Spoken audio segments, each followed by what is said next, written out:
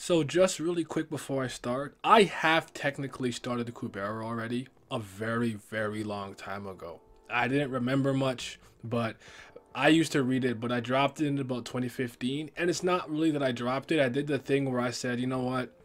The weekly slog is kind of getting to me. I'm gonna let a couple of chapters stack up and then I'm gonna keep reading it. And I just never, never got back to it. So I was somewhere in season two not that far, but somewhere in season two around the time that I stopped reading it, about 2015, 2016 ish. So I want to make that clear.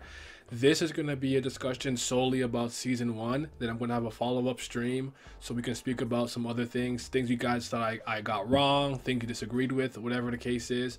I'll probably be reading out some comments too on that stream.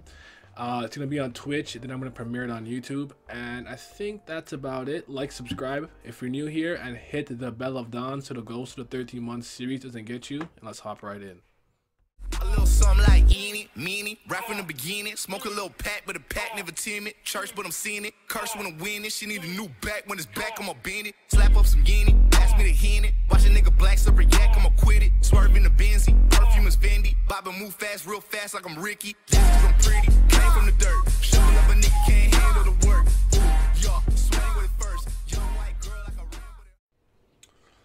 One final thing, I am not going to be heavily editing this video, so you can kind of just listen, just listen. You don't have to be like laser focused on the screen looking at all the stuff. I'm not going to be going crazy. I'm just going to be speaking, rambling. You know how it is with me. But yeah, um, this is not this. Uh, uh, for anyone doesn't know, I don't script anything. I just click record and I start speaking. So let's just do this.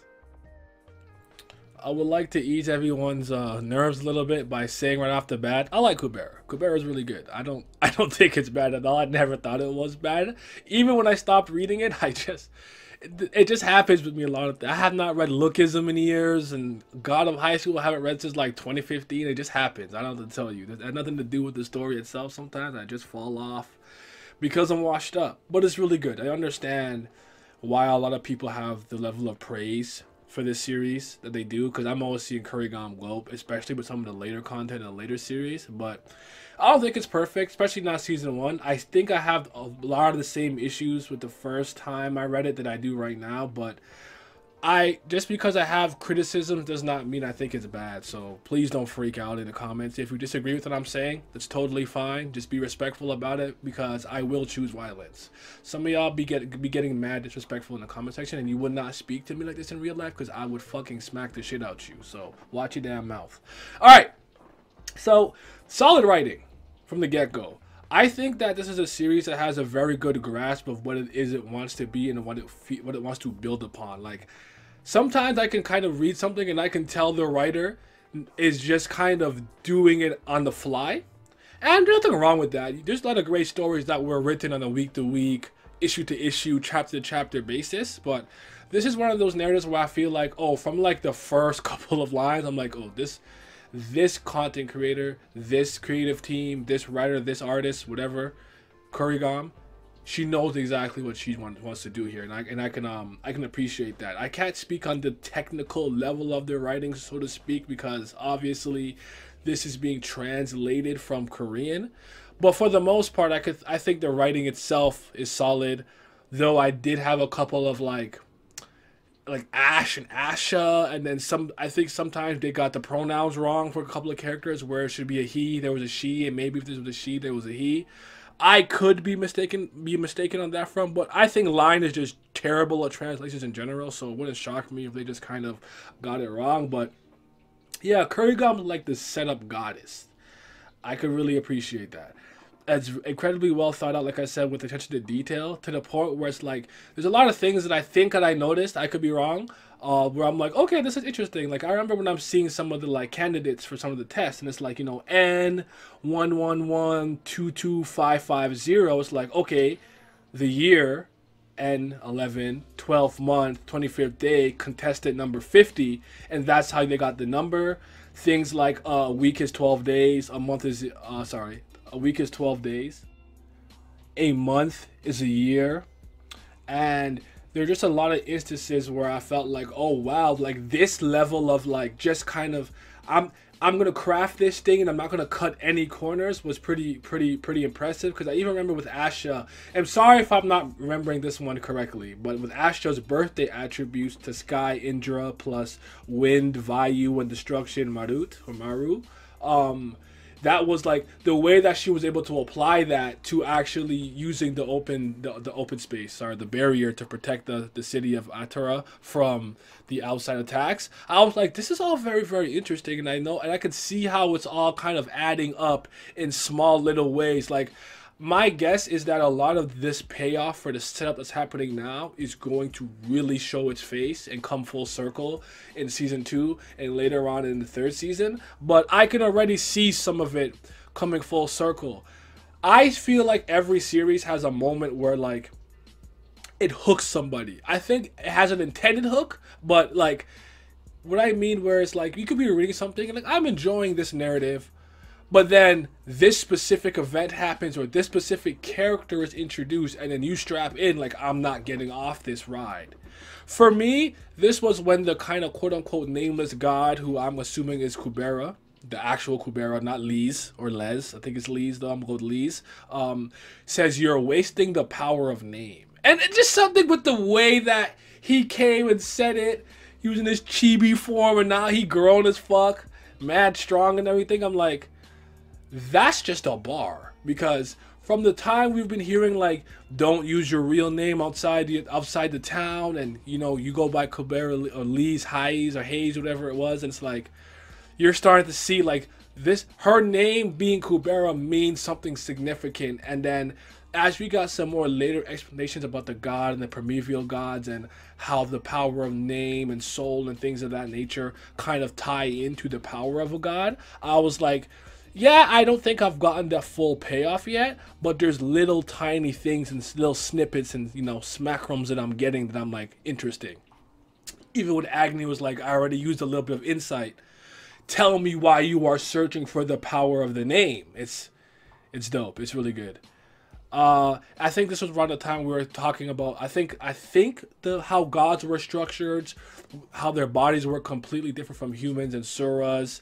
They can't be separated from their souls, and they got the power of memory, name, and like just power in general, and they all kind of form a concept. So, like I said, incredible attention to detail, credible, incredibly informative, even even with things that are just like this is probably not something that's vital in terms of you explaining it like this, but it's just nice to know. And for anyone who's a super duper lore nerd or world building guy, girl or gal, this is great for it. I'm not a person who care really cares about lore and world building like that. I care. The thing that I care about a narrative uh, the most at this point in my life is characters and the actual narrative itself. So the the central plot and the subplot. So things like that and character arcs. So those are things that I care about the most, and I'm not particularly big into world building, but I can see that this is really been done really well done with like the human realm, the Sura realm, the gods, how the world was created, how um, gods tie into humans and Suras and things like that, like X, Y, and Z. Like I'm seeing it. I'm like, like I, I know I'm not there yet, and I'm not. I haven't gotten the full payoff. I can tell, but I can. I could feel it. You know, it's coming. Like I could feel it. I could feel it in my bones. It's really good stuff. Kubera is hilarious. The character herself is funny, but like this this this manhwa webtoon is fucking funny. I did not remember it being this funny. Like I kid you not, there are so many instances where I am legitimately just cracking the hell up when we finally cut back to I think the kind of channel way to when we when we were transitioning from um uh the night it rained fire into the power of the name and it's just like meanwhile Leez is I think that guy is scared. He must be really weak. What a weak guy. And like they're just roasting Ran for no reason. Like bro chill on him. I remember when Agni and um sorry if I if I mispronounced this guy's name. It's like um Gandaravara. I'm sorry, I know I know I butchered it, but you know what I'm talking about. Um, he's looking for his daughter. It's like Gand, like Gandavara, right? When they, when Agni and him first meet, and like you know what it feels like. If I thought myself out, well, you wouldn't know because you don't freeze. I'm gonna burn your hair, so like you go bald. He started burning his hair, and like that guy did not care at all. Like I'm like, oh my goodness. and the detailed plan that they had to like get him to burn up his power to kind of kill the summoner with Brill, uh, Brilith, I was like, oh my goodness, like they're they're playing like some 5D chess here. That's that's that's really interesting, and I, and I like it. One of my favorite jokes. I'll, I'll probably never forget this. It was so hilarious when Kubera actually gets the bracelet on, and she's like, "Tell me how to get this off." You must know how it works, and immediately goes, "There's four different ways. Wow, that many? Cut off your head. Two, die. Three, get help from one of the fifth mind gods, the highest spiritual of god, whatever, whatever. And then like I don't even think they got to the fourth one. I don't remember, but it was just funny because she's like, "Yo, do you have any reasonable way of getting this bracelet off my fucking wrist?" Like, yo, this shit is so funny. Like, it's actually hilarious. I, I was having a good time. I, I can't even lie to you. Asha having like no naming sense. Um, remember when she when they wanted to name Yuta when Yuta joined the party, and after uh, uh, Asha was like, "All right, since he has black hair, Blackie." he have white skin, white, as a compromised body. And she's like, Kubera's like, what the fuck is this shit? Crumbles up the paper, throws it. and after she starts roasting her for like her creativity of having no naming sense, and after you know actually joking, but I'm gonna take your ear off or all that stuff. It's just there's a lot of very very good little jokes in there that I really appreciate. So it's really funny and one thing about me is if I'm having a good time and I'm laughing, I will stick around. And even like Agni, you know, idiot Smithy, idiot whatever, like he's uh he makes me laugh too. And so yeah, good stuff. Good stuff. The magic system so far seems very solid. It seems to be really well thought out. I haven't obviously properly dived into it. Like I have, I've met only a handful of fighters and very, very competent high level musicians. I am learning about the need to calculate and not calculate. How like Kubera can kind of just, I think it was called a Klein bottle, but like kind of just imagine like incredible shapes that you couldn't really, I don't know, wrap your mind around and just do things without necessarily calculating. Because Ran does the same thing too, although he does freeze his hand a lot, and then Asha as the goat magician. uh, she just calculates it normally and whatnot. So I don't want to comment on it too hard, too hardly in any direction right now because I do think I'm still very new to it. But I like it. I think the magic system has been good. Uh, you know, oh damn, it, I don't remember none of the spells. Hot, hot knee. Agni, Kubera, Hotni, I don't know.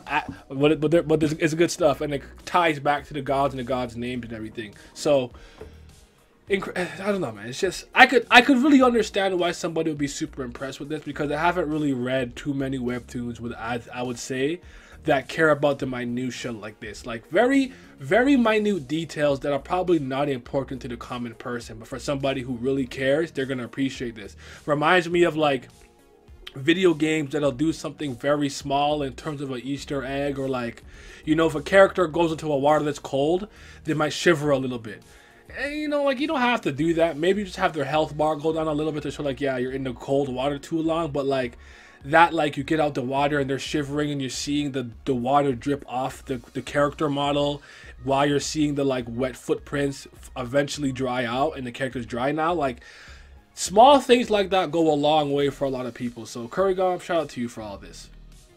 Now let's talk about some things that I'm not particularly a fan of, of, of thus far. It's slow. It's very slow, and I promise you, I am a patient man. I am patient as all hell.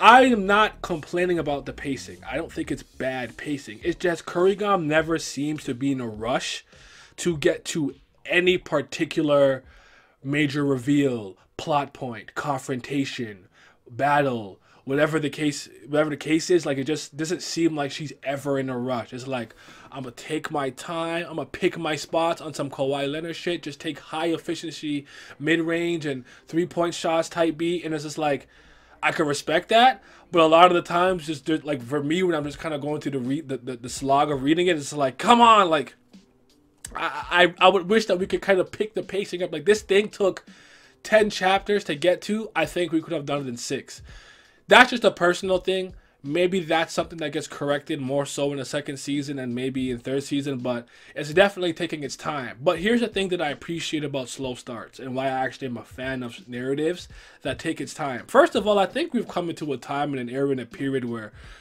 we're constantly in a rush to get to the major things, the high of the highest of highs in a narrative. And I think a lot of that has to do with human beings' attention spans probably lessening to some degree. There's probably a study on this. I don't know. I'm not. I'm not a nerd like that, but with like Vine, six seconds or less, and things like, that, it's like I think pe- people's attention span is, is very bad to the point where I could flip a game on and start a narrative, and I feel like it's doing too much to grab my attention. It's like, you know, the very first panel someone jumps out the cliff and they're shooting the guns backwards a building blows up and it's like i can't believe i just stole the power from a demigod. And it's, they're like barreling into like it's like okay calm down. Like i understand the action scene is meant to hook the reader in but it's like when you take the time to really build that foundation on which everything else will be built upon which is why i'm probably going to name this video something like kubera season 1 incredible foundation, incredible building blocks, something of the sort, just because I think that's what it is. What you allow was that when this when the writer, artist, creative team is really ready to hit that stride of here's reveal after reveal, here's action piece after action piece, here's you know this character finally meeting this character you don't they, they don't have to hold back they can just go all in on the action all in on the you know info dump lore dump, whatever the case, because it's just like, yes, I spent so much time building it up. Here's the payoff. Just run with it, have fun. And I imagine with Kubera, that's gonna come at some point. So I'm not really complaining that it's slow. I'm complaining that I hate that it's that Kurgan's never in a rush. It's just something that I noticed. And I do wish sometimes we could pick it up a little bit because I do think there's a little bit of efficiency being lost here. Where I'm like, no, you can, you could have got to this in six chapters, even though you took 10 slash 11. So, yeah. I definitely think this series would benefit from more action and more fights and more, you know, action sequences in general. I do think the presentation right now is a little bit lacking. It's early, season one. Even Tower of God, in a lot of ways, I would say, yeah, Tower of God took its time for it to hit its artistic stride. So I think Kurogami is going to hit that. And I've seen some of the later artwork. It looks beautiful. I saw some of the improvement already. So this is not me saying shit art. You're a bad artist. The artistry's terrible. First of all, beauty is an eye of the beholder. So you know, it's each their own. I I just think like the actual presentation itself in terms of um the paneling and the yeah the artistry a little bit, but the way that it's shown, I think I think it leaves a lot to be desired as, as of right now. I think maybe. Kurogami's strength lies in her writing, not necessarily the artistry.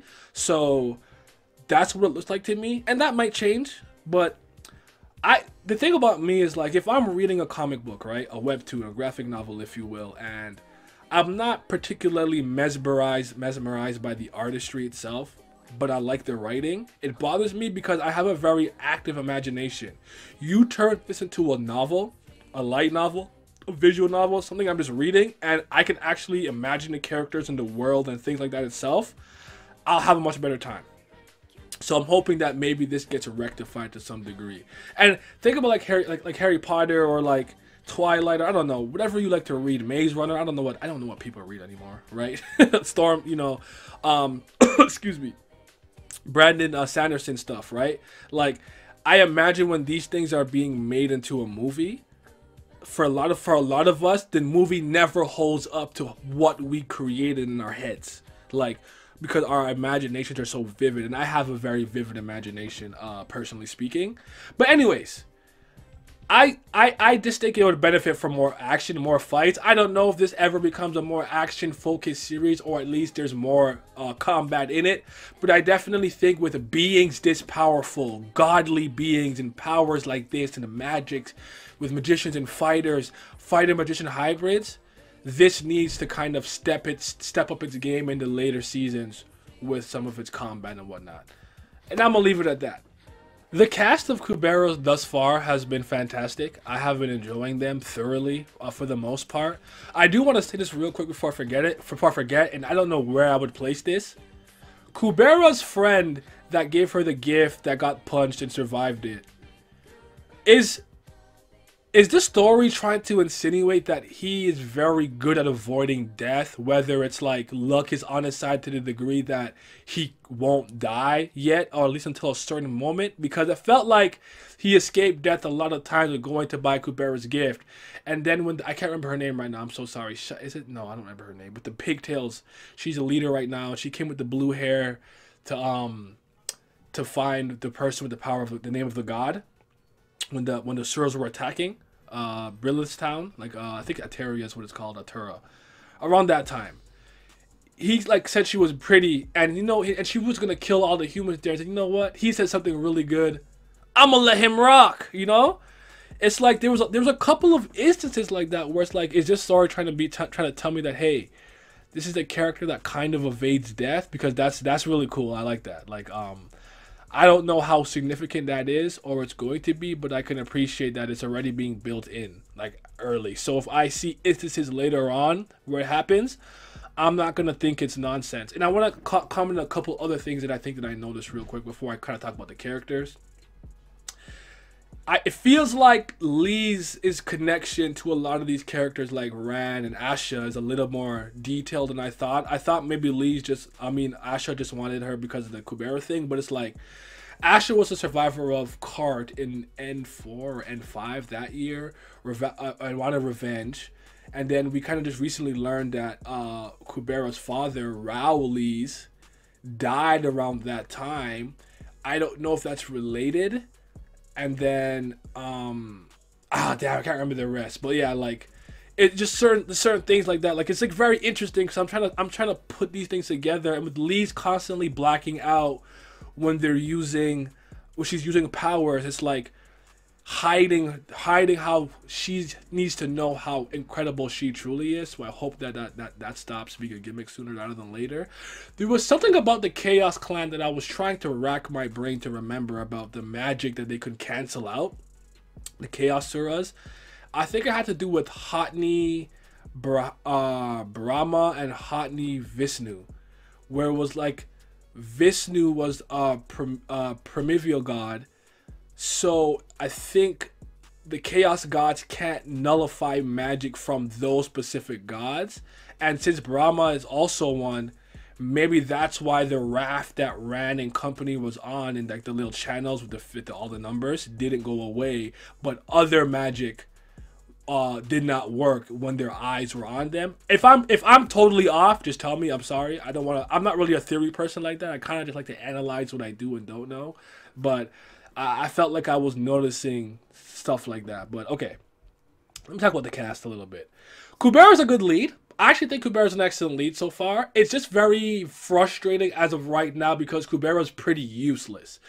We are getting all of the, you know, the hype for, hey, you're you're a lot more special than you're giving yourself credit for. Power of the name, you know, uh, you're a decent magician that could uh, do stuff without calculation. Very physically gifted.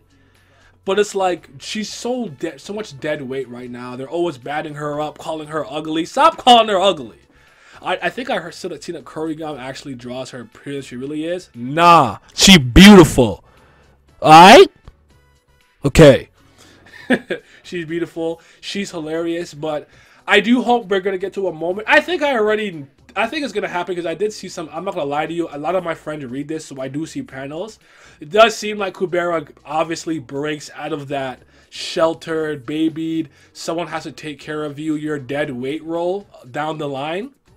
So I'm guessing it's just kind of a point where maybe she'll use a power and not block out. Because it looked to me like she used fusion fusion magic that like uh Airi did, which we'll talk about later on, where um with the Yuta part like the the lies or who lied to you, like, like the last arc of like the the first season, she was using um Hadi Kubera and then healed herself the same way that uh, was doing that against one of the Suras. So I noticed that. I see, I see, I see, I see, I, I'm paying attention. Respect me, cause I'm.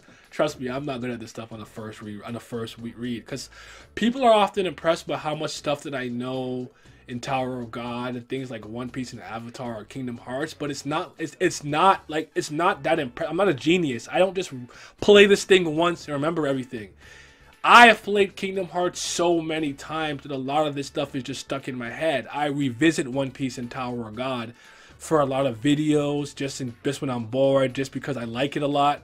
That a lot of these things are just stuck in my head. I it's, it's over repetition that I remember these things. It's not I read it once and I'm some type of storage genius and I could just remember all these things that I have in the archives in my brain. I don't work like that. I'm not I'm not that smart at all. not even a little bit. But yes, excellent lead.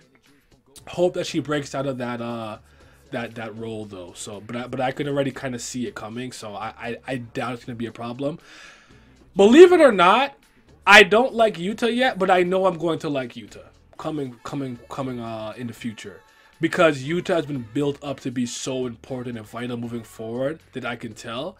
And Yuta became interesting when the fake mom type beat was like, "Hey, you know, I've seen a bit of the future and the future of you attacking Kubera, and I'm like, oh, what does that mean? Because I kind of ship them, not gonna hold you, and especially since Kubera has that like you know, discrimination against like the half. I can I want to say half Sura. I can't, if I if I remember correctly right now. I'm sorry if I'm off. Maybe it was a quarter. By, by the way, the whole Sura stuff with like quarters and halves and fulls and how they age and stuff. All that's been really good. Uh, really good stuff and discrimination against them and some how some of them are being sold and stuff. It's it's all it's all all those building block stuff is just in there in the, in the narrative, just sprinkled in like chef's kiss. Uh, yeah. Ran is funny. I like him. His misunderstanding is so hilarious to me about like thinking Asha and Kubera are dating and doesn't know Asha is a girl. Respect, respect her, man. Stop it. But yeah, Yuta's gonna be dope. Uh, I like Ran a lot. There's a lot of characters that I like that I probably can't remember off the top of my head, just just, just like that. But I do want to talk about some of my personal favorite characters, uh, if you don't mind. Believe it or not, this might shock you. My favorite character is Airi with the with the purple hair and the pigtail at this point. She's always with the girl with the glasses that that was had to, had to remake the staff, the Agni staff, and like turned into like this weird abomination. And there was arguing and stuff. She is so funny. And I just enjoyed her because she made me laugh from that standpoint. But I honestly was so fucking impressed during the night it rained fire, where she just took action. It was like, all right, I'm gonna take take up, I'm gonna fight this Sora Sura she was a fighter that's good with with with um or maybe she's a magician that's good with um it's a good fighter but she's like a hybrid. Saw her using some hybrid magic healing herself taking that Sura away by kind of getting like kind of making him intrigued by her and like fighting back. Like the fact that she was putting up such a good fight against a being of this caliber was impressive to me. And it was like without hesitation. It was like she's a woman of action and i fucking love that. I can appreciate that. Like just just stole my heart right in that moment. And she's fucking sexy. By the way, Currygom, stop. Stop. All these pretty boys, all these pretty K-pop boys swooping in, open shirt. Stop. Stop. They too they too sexy. They too too much sexiness. I need you to stop. You know, like when um, like the like the actual Kubera picks up Leez and like holding her and like stop when Agni holds Brilith, stop my my heart. Too much, too much sexy boys. But um, Asha, my second favorite character. Why is she so fucking disrespectful? So rude, so dry. I love it. I love it. I love it. It's I I can't I I stand. That is one of the greatest magicians. You gonna put respect on her, okay? That is top. She's top three right now. Brilith, the priest, listen, devotion to that to, to your nation, to the people. Even though once you are a brick of death, you're like, yo, fuck these people. I I, I, I feel it. Fuck fuck them niggas, man. fuck them. But uh, her relationship with Agni, uh, and their dichotomy is just so incredible. Seeing how much she cares for the people, how much she shoulders for them, and how much she misunderstood for, for in a lot of ways how much how much respect and love Agni has for her. By the way, this is the best fucking ship. You better fucking ship it, or I'll find you, and I'll find you. When I find you, I'm gonna throw you into the sun. But yeah, I ship it. I need I need it to happen. Like a god falling in love with a human is just I don't know. It's it's beautiful to some to some degree. So yeah, I, I like Brilith a lot too. She and she's and she's fucking bad, obviously. Maruna, shout out to the Garuda clan. I like him, man. He cool. He just cool. Like he You know when someone has like a really uh, amazing, you know, coolness factor? His hand in his pocket, he be posing the way that they kind of like he talks. At first, I thought he was the only person that spoke like this, but it's like a maybe a higher level Nikitska, whatever Sura thing. I'm gonna have a hard time remembering a lot of these terms. I'm gonna have to. I'm counting on you guys to keep me reined in if I'm misremembering terms and um misremembering from information because I have not read a lot of the blog stuff yet. I'm counting on you guys to supplement me with that information, by the way. But we'll talk about it in the stream that comes after this video. I like Maruna. I, I and I really want to see how he grows moving forward. The relationship that he has with, with Yuta and his other siblings, so to speak. That's gonna be really cool.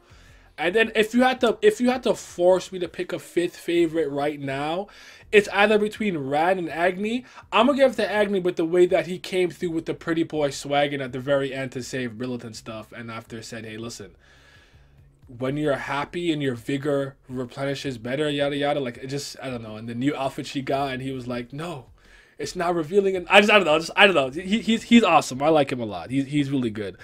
But those are like my favorite characters. Uh, I think Kubera might end up going up in the ranks at some point, but I think I, for the most part, have said everything I needed to say.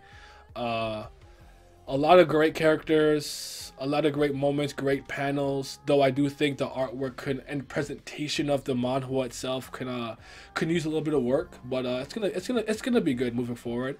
I didn't speak too much about uh Gand uh Gandvara Gandhavara, sorry, but uh he's really cool. Uh, and I and I and I sympathize with his struggle and plight to find his daughter and stuff. So we'll see how that turns out, and how it plays out. And yeah, I think that's good for the time being. But let me know what you guys think about Kubera.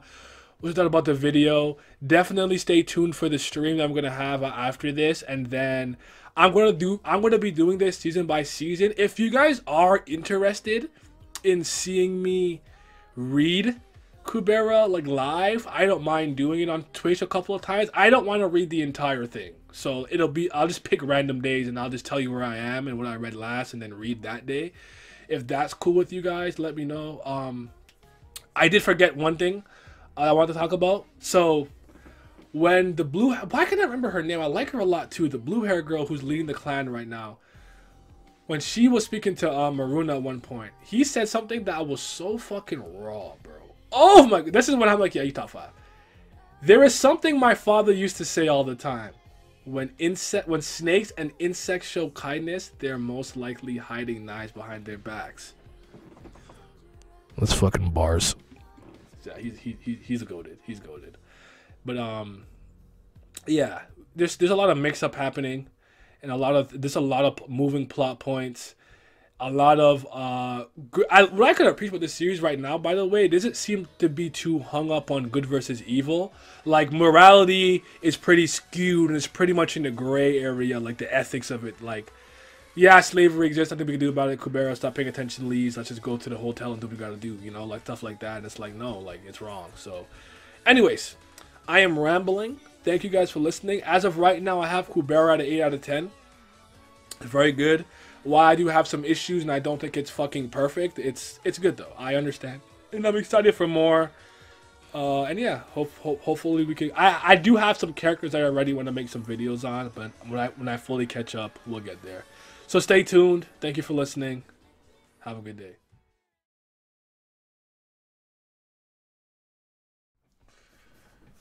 Yo, I want to thank you guys who actually ended up voting for Kubera to be the next thing that I kind of read on, on the channel and stuff um, with the poll because that was that was an experience. That was one. That was a ride. It's been a long time since I've really read something that had me that emotionally invested. And like when I leave my house and I go out and I'm doing things, I'm like thinking about it. Like, what Asha up to? What's gonna happen? To, you know, like I'm thinking about these things just when I'm out doing regular, regular stuff, or the point where sometimes I, to, I, mean, I gotta read something and I just get I, I pull out my phone and I'm reading like one or two chapters of the webtoon on the road, right? Not not driving, but like I'm saying it's outside and stuff, right? So there's that. But I gotta. I know you guys saw me going through the ins and outs of that trial you know, your justice in mind and stuff. But I had I came to a conclusion that uh might shock some people that were like watching me. You know, I'm saying like you know, there's a good reason. You know, Ash has a good reason. She's doing this for Leez and whatnot because there came a point where I'm like, if the power is in the name.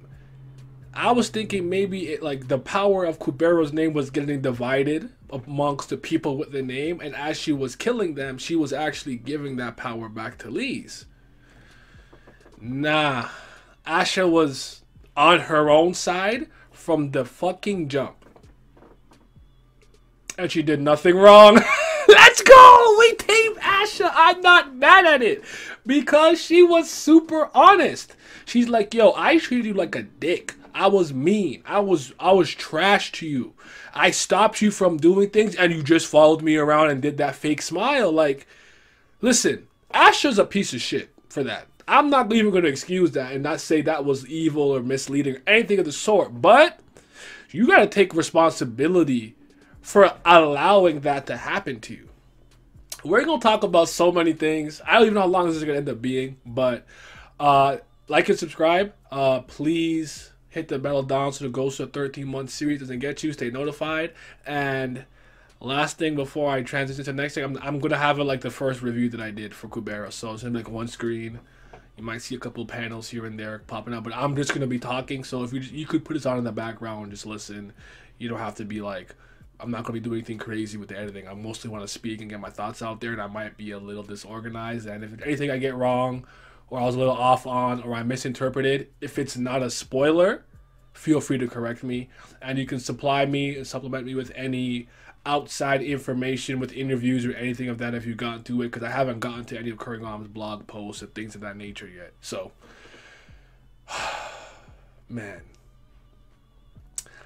Currygom is the best webtoon writer, especially online webtoon or slash, I guess maybe Naver. I'm assuming she's on Naver too because it's from Korea that I've seen, and I don't think it's close. Not, not even a little bit. Like she is her story to me is the personification in a sense if you will in like you know narrative form of your patience being rewarded and plot threads that were seeded early come full circle let's talk about it Currygom, Currygom, Currygom. You gotta say three times. Put respect on her name. That's uh that's payoff, man. I I can't remember the last time I felt like I should pay attention to every nook and cranny of the story because something as minor as just a paper a character is reading could be so important 66 chapters later. And I appreciate stories like that. It it makes it hard for me to just read it because now I'm, I could overthink something very simple or something simple I might not overthink or something so complicated I don't I don't think about it and it was like important like it can get in the way but I think the story does does it in a in a good way because man, that was something else. And I think a lot of the best stories that you experience will kind of make a hypocrite out of you. And I think that Currygom did that to me with Asha, but I'll get to that a little bit later. I don't want to spend too much time on it now because I got I got a lot I got a mouthful. Because like I said earlier, was she wrong? Now she was wrong. But was she wrong? we gonna talk about it. We gonna talk about it. Okay. So I really like how this this part starts off season two because season two to me is like I said earlier a perfect example of long term payoff. I I'm not gonna lie to you guys. I didn't I don't know if I really mentioned it, but there's there was a lot of lulls in this story where I was kind of like okay like. I actually no, I did mention it. I mentioned I think it could be more efficient at times, but where I'm like, man, this you know 16 chapter stretch could have been seven. And I there's a lot of times in season two where I really felt like that. I'm going to say around the arc where we got to about Frozen Tears, that's really when things started to pick up. The introduction of Teo Rakan, Rakan, sorry, Rakan, yeah, really, really did a lot for me. I'm a big fan of all the priests and priestesses in the story for one reason or another, even if I'm not totally emotionally invested into you. Like Claude, I think is like scheming on a different level right now. I don't really f with him as a priest priest of death, but I do think that his character is has a lot of intrigue, especially moving forward.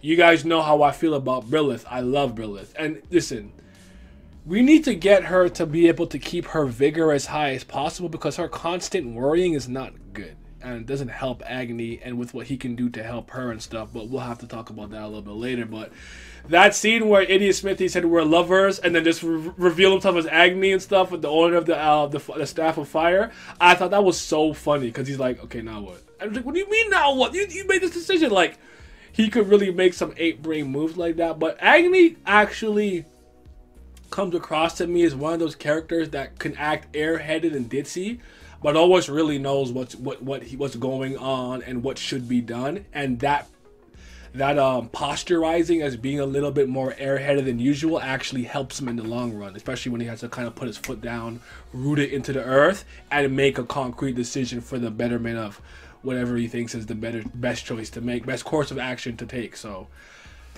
those two are always dope. But Teo, swordsmanship and transcendentals, not even a great magician. It passed the test with that. The triple nil, you know, you know, um, attribute and stuff. And I saw a comment in my section say this, and I think I might have asked it. I might have asked this, but was the reason that Asha revived Teo Rakan was because Kaz, Kubera's friend, actually has a triple nil attribute, which is extremely rare as far as I can remember and recall. Meaning that if you lose a priest with the capability of actually holding up this barrier in open space, you're going to have to seek out the next best candidate. Which means possibly with the news of a priestess dying and looking for a new candidate, it's going to be big news, right? And there's basically a chance that Kubera would have learned that Kaz was alive, and Asha could not have that happen yet, which is why she did it. Let me know. Let me know if there's truth, truth and validity and credibility to that. But I thought that was very interesting because I'm like, these are like the kind of things where I'm like, you can just hide it in a regular panel. Oh yeah, Kaz alive, yada yada yada, and just not take in the triple nil attribute because I didn't notice that. But when when I when I saw that comment, I, my mind went. I'm like, wait, wait, wait, wait, wait, wait, that's crazy.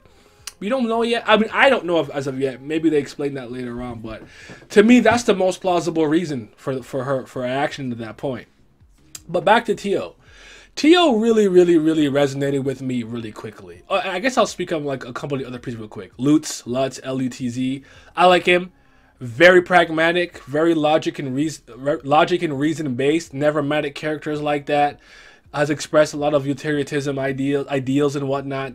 Um, sacrifice a few to save the many, or in the interest, in the end, justify the means and stuff like that. I really like him.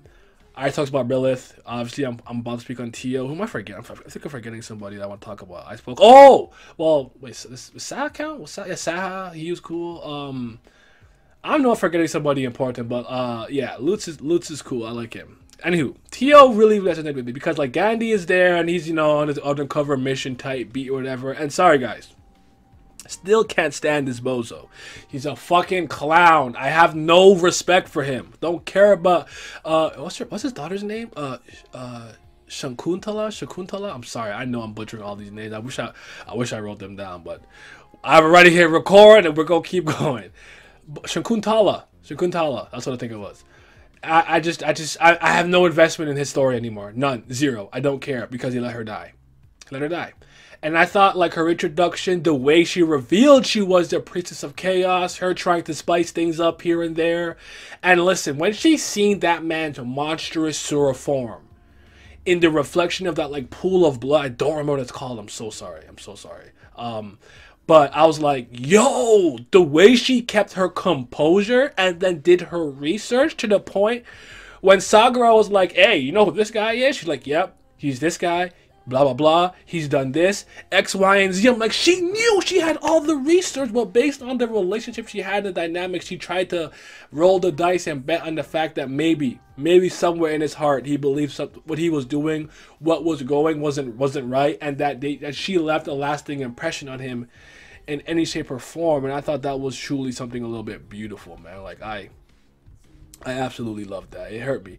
But like the, you know there's no rules that say you you um you must use magic in the magic exam. If a fighter has earned an a plus uh rank in magic exam just by swordsmanship alone she does not worry have to worry about being a female because when she uh invited uh, Gandhi to her place. He's like, aren't you worried? We seen like Gandhi actually being planetary, wrapping his Sura form around the entire planet. At the time, I didn't know, and then I had to see that motherfucking panel with her rapier in her neck, and I just hurt. It just hurt. You know what I'm saying? I was so fucking mad. I couldn't.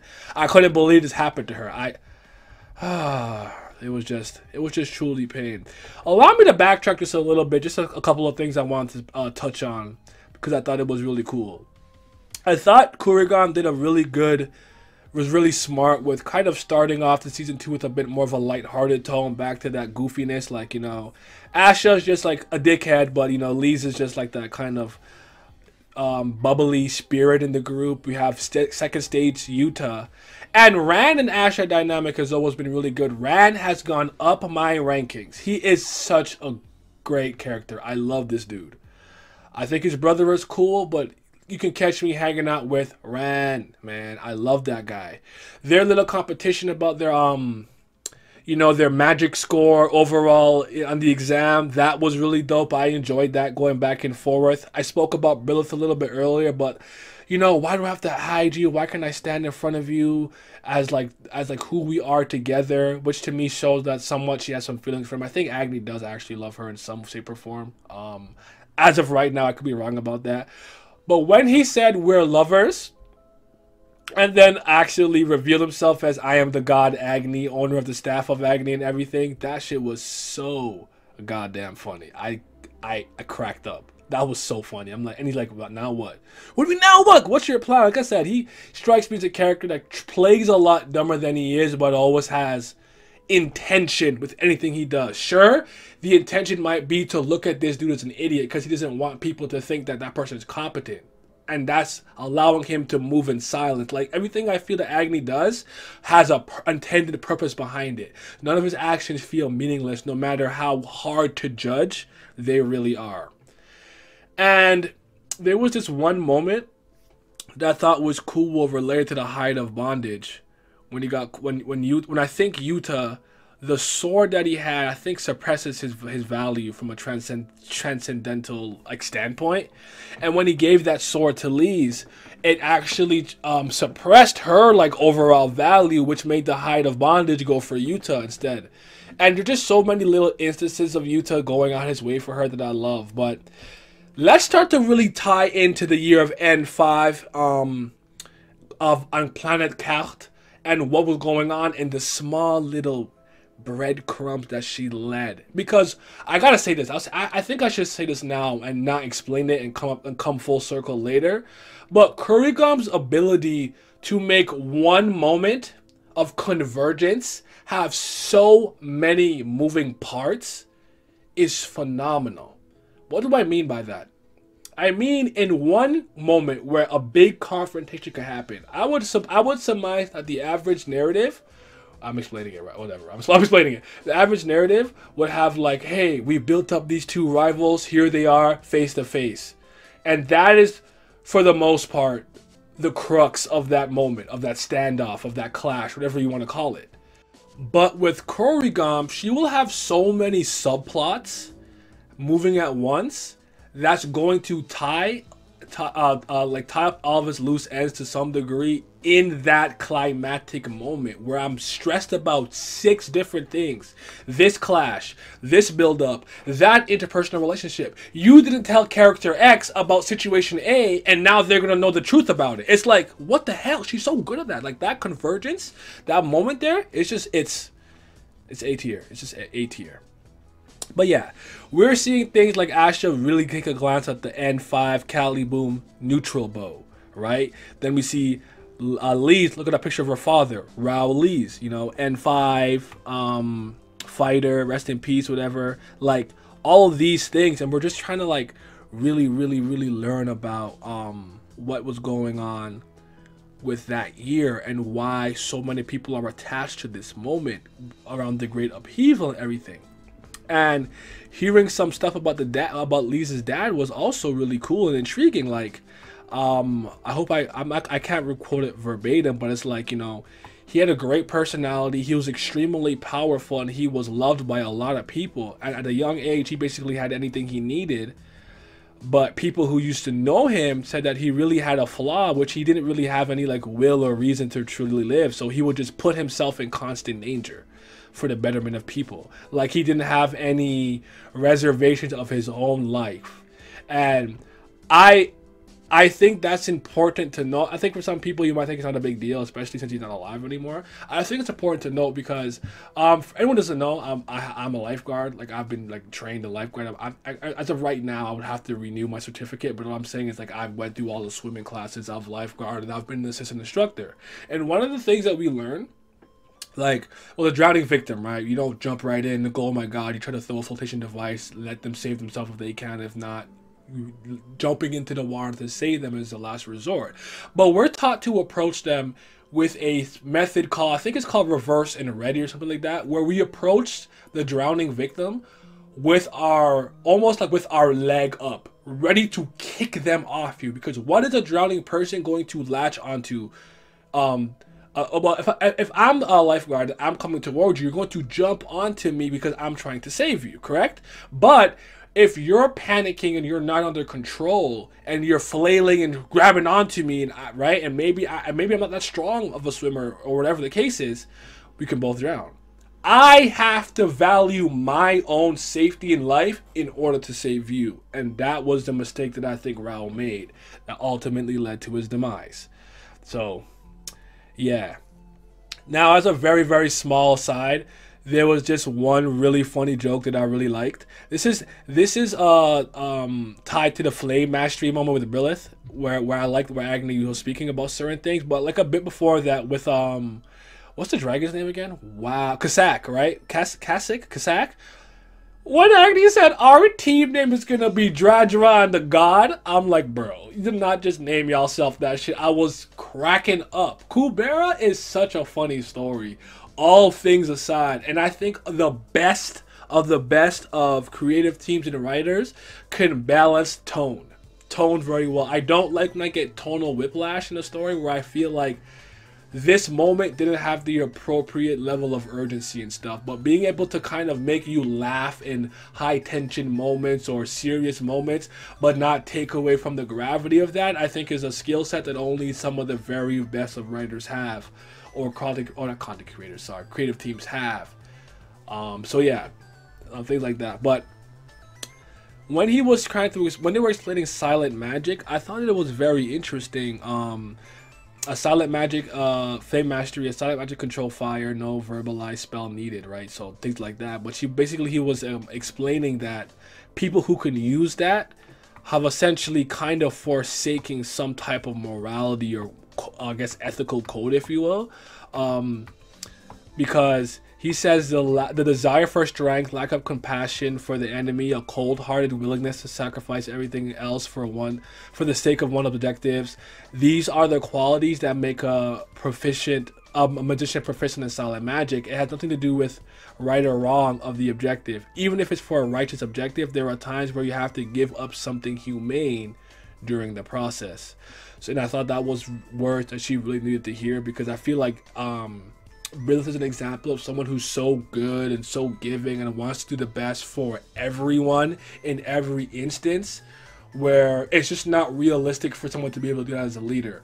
You're going to have to make really hard, concrete decisions that will not benefit a certain group, no matter how much of a minority they are.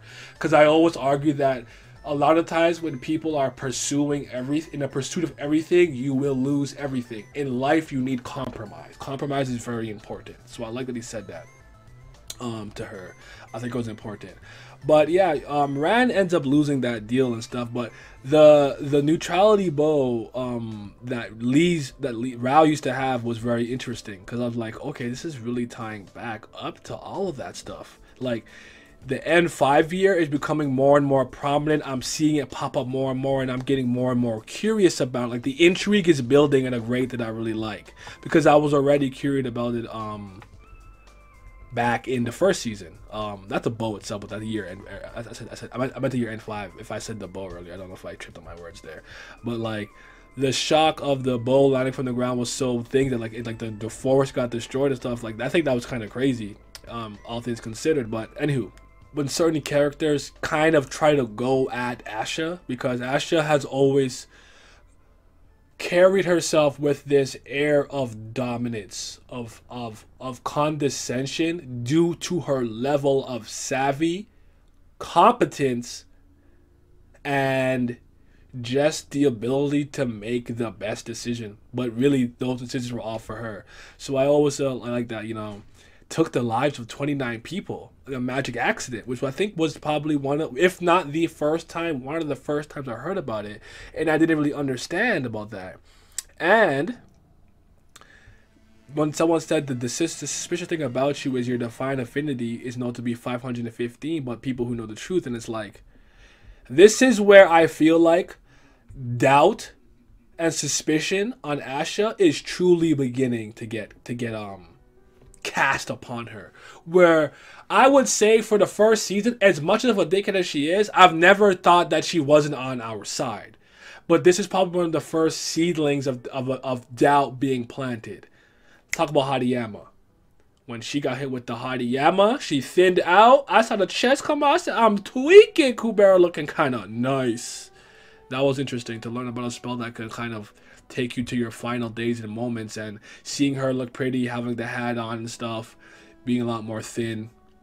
But the sadness of learning that no matter what, she's not going to live a long life because she has the appearance of somebody who's like, I don't know, maybe late 20s, at, at most 30 years old, it seems to me. Like she's not going to live a long life. And that was just like a sad thing to see because we're constantly with any gods that have insight and have like you know knowledge of the future are seeing that one panel of her walking and saying yo you have a hard life ahead of you hard path ahead of you um but you might have a, a sliver of hope there and there. The literal god of earth Kubera is like your life is going to suck. I can end it right now.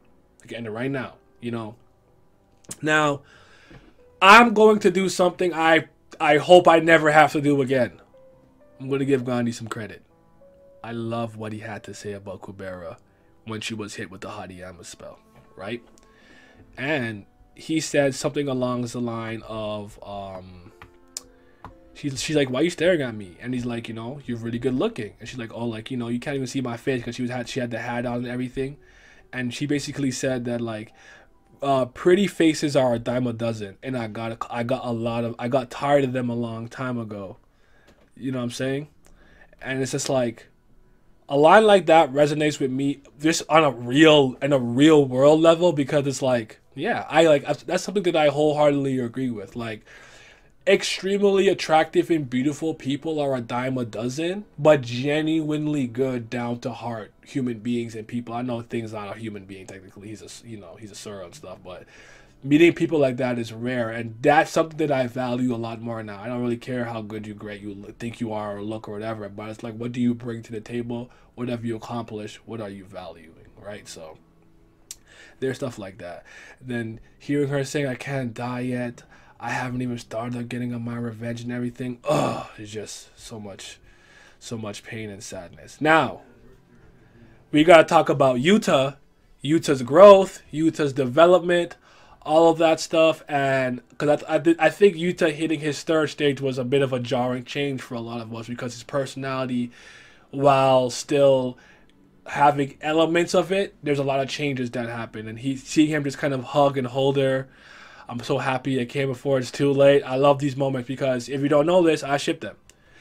Jatayu that's by the way the, the, the Tayu thing was very very interesting. Why he had he that's the name that he started using and stuff. But the Yuta X Elise is a ship that I like. Um, I know it's like very basic and like you know in our face, but I like it. I really do. I think it's really interesting because of how different they are. Um, and I like Agni, X, uh. You guys could take Gandhi X Teo and shove it. I don't want to see it, but anyways just like the fact that he started to develop and now he's like, yo, he walks out, you're a half. Um, we're gonna have to get somebody to um to vouch for him and everything. And it's like he has some very shady desires, shady. He's like, damn you, Mister Kasak. This means I have to keep an eye on you because she's like, I'm gonna go into the city and don't come out until you finish a book I'm gonna read. Like, what book? It's called The Biology of Asura. He's like, no, stop it.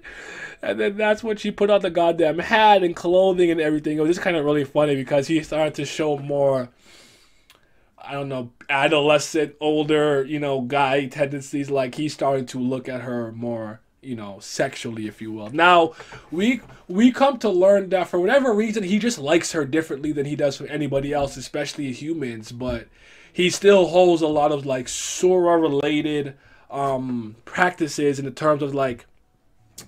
Okay, actually, no, this makes sense. So when she learns about the thing with like Rao and Leez and everything, he's like, "Yo, I'm." I'm not sad that Rao Leez is dead. I'm upset at the fact that it made you upset Leez. You know what I'm saying? It's not the death of that human. And I thought that was pretty cold and telling when he's speaking with uh, the god of earth, Kubera, and he's like, if she was already dead, this would just be some corpse to him. It's the fact that she's hurt and still alive that I'm pissed. And they spoke about a little bit of those differences at the end of the of the second season when she finally learns the ability to kind of hear him and or because I think that her connection became so strong in that moment. And that's the only Sura that she said that she could ever really hear speak. So I just think all that stuff is just absolutely incredible and phenomenal. So Frozen Tears, we see that Gandhi's crying and he's doing whatever whatever he's doing and blah blah blah yada yada. Ugh, this fucking Gandhi guy. Can I talk about Arish real quick? Actually, I like her. She's really funny. She about her paper stacks and money and just and pretty much trampling on people it's uh it's very funny, but I, I I really like her. But like like um Yuta's like fear of hurting Leez being really really real and stuff. It's crazy. He even thought about just like taking her and going away with it. Like yeah, fuck all this. I'm gonna just take her and I'm gonna dip. And it's just he's getting more he's getting more dangerous in some ways. It's kind of scary. You'd be creeping me out. Something like Yuta. I can't, I can't, I can't get down with this. You got to do a little better. But let's talk about Frozen Tears a lot. Now, I don't feel the need to too strongly speak about Frozen Tears since you guys had literally seen me read it, react to it, and share a lot of my thoughts and opinions. But we got Teal back by the end of all that stuff. So hey, we are here. I can I will tell you this. If I live in this world, I'm putting my name on that do not revive me list. I think that uh, I don't I personally am against um, messing with the dead and time travel, whether it's forward or backwards in time. So that's not a thing. That so I'll put my I'll put myself on that list. So if I pass away, you gotta let me let me rest in peace, guys. I'm out of there. But um, interesting arc, Frozen Tears, him going to Asura form and stuff, him and Agni's talking and conversations and everything. That was cool. Agni being like, hey, Kubera, you're still very sad. Like, why are you crying? You're not crying outwardly, but you're screaming internally. You're in so much pain you're just not dealing with it. And I think that I said in a previous video that I was a little bit frustrated by that. Like, her lack of desire to take accountability, real onus, and agency of her own life and courses and stop catering to everyone so that she's simply not alone. But I can understand, especially even after just knowing, hey, I'm not gonna live long. That loneliness is the thing that like it, it pains her the most. Honestly, that's really similar to um to 25th Bam from Tower of God. I'm not going to spoil anything, but if you know anything, I'm, uh, I know my Tower of God channel, but maybe you are watching this video and you don't read Tower of God and planning to get into it, so I don't want to spoil it. But I would argue that um, Bam is a character that he fears loneliness too, more so than he feels, you know, uh, dying. So interesting, interesting thing there. Just I want to point that out real quick. But I even like when bad things happen to her or something happened to her she wouldn't remember or something happens and she will suppress it or not address it or not confront it or oh no that couldn't have that couldn't have possibly been what happened. It frustrated me. I felt like Currygom was using that as a crutch way too many times where it's like you rely on her being kind of stupid, a stupid country bumpkin type character a little too much for my liking. But I think I think I understood the reasoning for this because we had to have these emotions festering inside of her for a long time and really, really have her bubble burst, if you will, and that and that air of reality, that veil that and that barrier she's building up for herself to kind of keep her mind intact and her smile alive.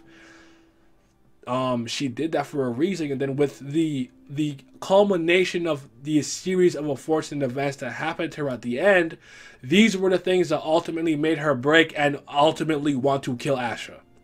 So I think it was actually in the grand scheme. Do you think I like I'ma still say like I still have to read this because one thing about um making the author really feel the passage of time and the effect of things that are happening of character, I think there's a place in that where it's like you want them to read it and feel it and not and not separate it. But sometimes I need authors to remember that we still have to go through this because I would imagine on a week to week basis, this would have probably frustrated me a bit more. And by the way, just now that I'm on it, the fact that I could I could be I'll be caught up soon and and, and on a week to week basis with Kubera, I want to see how it feels to be a Kubera fan week to week. I'm excited for that too. So. Now we're starting to get to the stuff that you have all seen me react to on stream or on video and stuff. So I don't want to kind of harp on too many things. I want to get to the parts that matter to me the most. But the introduction of Saha, the president of the Eloth Magic Guild, was was was incredible to me because I know that he passed away and he's gone now, but I thought that he was a very powerful introduction. I don't mean I don't mean him being the number one ranked over a magician overall and being a double A and stuff, but it was sometimes a character comes and has such an important agency in the story immediately that they just become automatically really important and intriguing to me. There's a character in Death Note that a lot of people don't really like, that I really like because I felt that the story was going to kind of stagnate or maybe slow down, but this character completely pushed the momentum of the story immediately by kidnapping a family member of one of the character, one of the main characters. That was Mello. So Saha to me is very interesting because he pretty much is the strongest magician, ranking one at least on paper, and one of the only magicians that we think probably is competent enough to actually beat Asha straight up. But immediately goes after her for her crimes and what she did, wasted no time. So now a character that we all are familiar with is basically under the fire, which is fantastic. He's his his thematic role has run out and he obviously is gone now. But while he was in the story, he was so important, especially the ties to Lorraine. And the Lorraine thing was pretty interesting too. But anywho, seeing him use the um the life source system for Planet Wilnar, Willar and stuff was cool. Because it reminds me of uh is it Cerebro? What's it called actually in X Men when Professor Xavier puts on the helmet to find all the mutants. I love that shit. So that thing is really cool. We kind of so kind of talking and diving into that the 29 deaths and stuff which we learned later there was way more because tons of suras or halves were actually named kubera but since they're not really considered human and whatnot if you kill a sura you're not going to be tried under the weight of the law itself which is crazy. This is a moment where i struggle with lutz lutz l-u-t-z um a little bit um a little bit additionally. That's kako's man's but because I thought he was completely emotionless in a sense, but I realized that he's just one of those people who are extremely pragmatic, logical, reason reason based, and I and I don't hate people like that because I think they have a I think they're important. To have contrasting ideals and ways of getting things done because he's pretty much expressed a lot of utilitarianism um, beliefs like you know you know you sacrifice the few to save the many. If you have to blow up building B that has a hundred people in it because somehow blowing up that building will allow a thousand people in the adjacent building to live. That's the decision you make. And I and I and I can get I can get down with characters like that, especially if they're talking to somebody who's very emotional based because i think an emotional based person a logic based person if both of them are level headed and truly want to solve a problem they'll meet in the middle life is about compromises so yeah, Lutz is cool. You know, for the sake of the people who are alive right now, we have to bury the unpleasant past of a brilliant sorceress because her skills are more important than her ethical code. And I was like, okay, goddamn, that's crazy. Then he kind of extends that a little bit to Yuta because Yuta unfortunately had a moment where he he hurts Leez she they have a little smoochy smooch. I really love that moment. It's so cute. I ship them so hard, dude. You have no idea. And a powerful Rakshasa who is actually nice towards people that we can have on our side. We're just gonna have to be like we're lucky that she has the golden knight. So as long as she has vigor in her body, she will heal. Yuta is too useful to to shut him because of this one girl. And I'm like, that's so fucked up. But could you fault that line of thinking? They're under attack by Suras and whatnot all the time. It's just, now let me let me explain the moment where I, Nya Hemmingz, first doubted Asha. It wasn't the moment I brought up earlier. Even though I think that's maybe one of the first. There's there's probably in hindsight, if I when I when I reread it, I'm gonna see a lot of the stuff. I love rereading a series this well constructed with with the foreknowledge you have because knowing everything and revisiting it is going to let you see a lot of things you wouldn't have noticed now that you have the truth or and the knowledge. So I can't wait to revisit it. So there's probably an instance in the first season, but to me it's when we went to Arrow Plateau and we learned that all the all the spells that Kubera had been learning about the god of earth, the earth spells do not work here. And I'm like, why did she do that? Why? Now I'm suspicious. I'm suspicious now. I'm suspicious. I'm not gonna lie. I'm gonna lie to you. I got suspicious. Didn't want that my girl. Um, by the way, Arrow Plateau brings back my, my she's actually she's actually been dropped a second favorite. Everyone doesn't know. Um, Airi is my second favorite character right now. Somebody told me that um kind of spoiled a little bit to me that her and Teo are connected a bit more. So she could rise back up to first by the end of this. Like I'm, I, I will have a top five, six, six characters or something video once I'm done with all this stuff. But Asha's right as that as that one right now. But yeah, my girl ID came through. She thick. She got the dump truck. Lorraine or someone said that she took up like two seats. Like, ooh, she got the wagon. Let me stop. Anywho, Jatayu after hurting um Leez goes to his brother Maruna, which was cool. They're seeing the light, what's going on working with the snakes.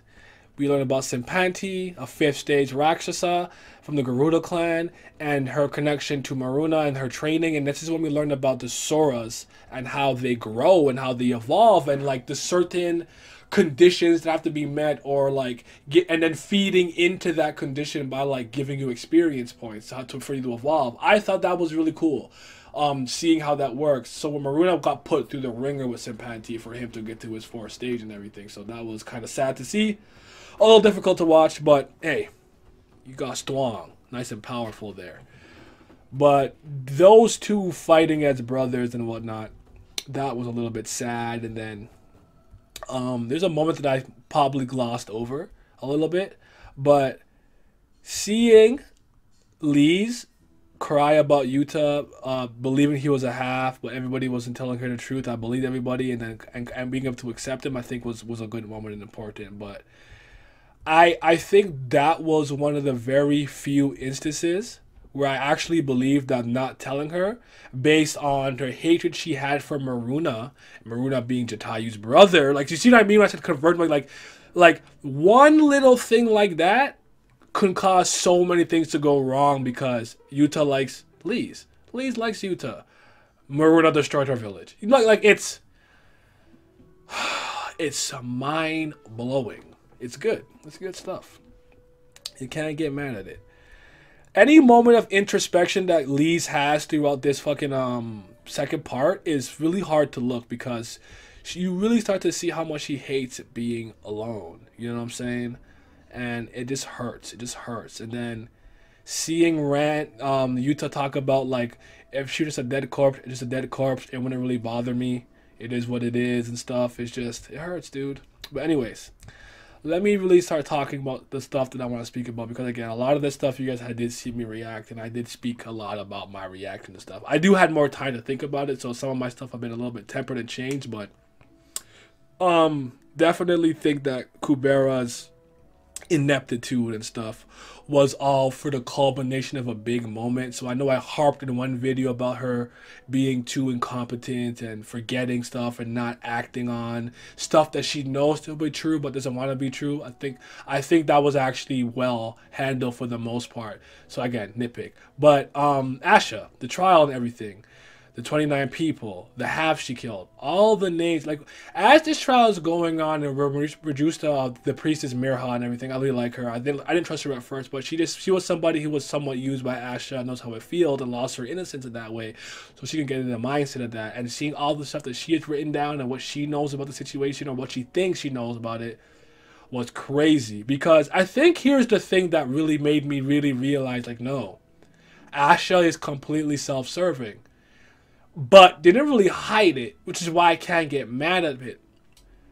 I'm a, and I'm gonna use this example. James Harden is a NBA player who used to play for the Houston Rockets and OKC Thunder, who's currently on the Brooklyn Nets. And he was known for something that a lot of people don't like, which is basically baiting the referees to call fouls. In basketball, you can't really like touch the player too much or too forcefully, only the ball. Or if you contest a shot, you can only go up straight up verticality.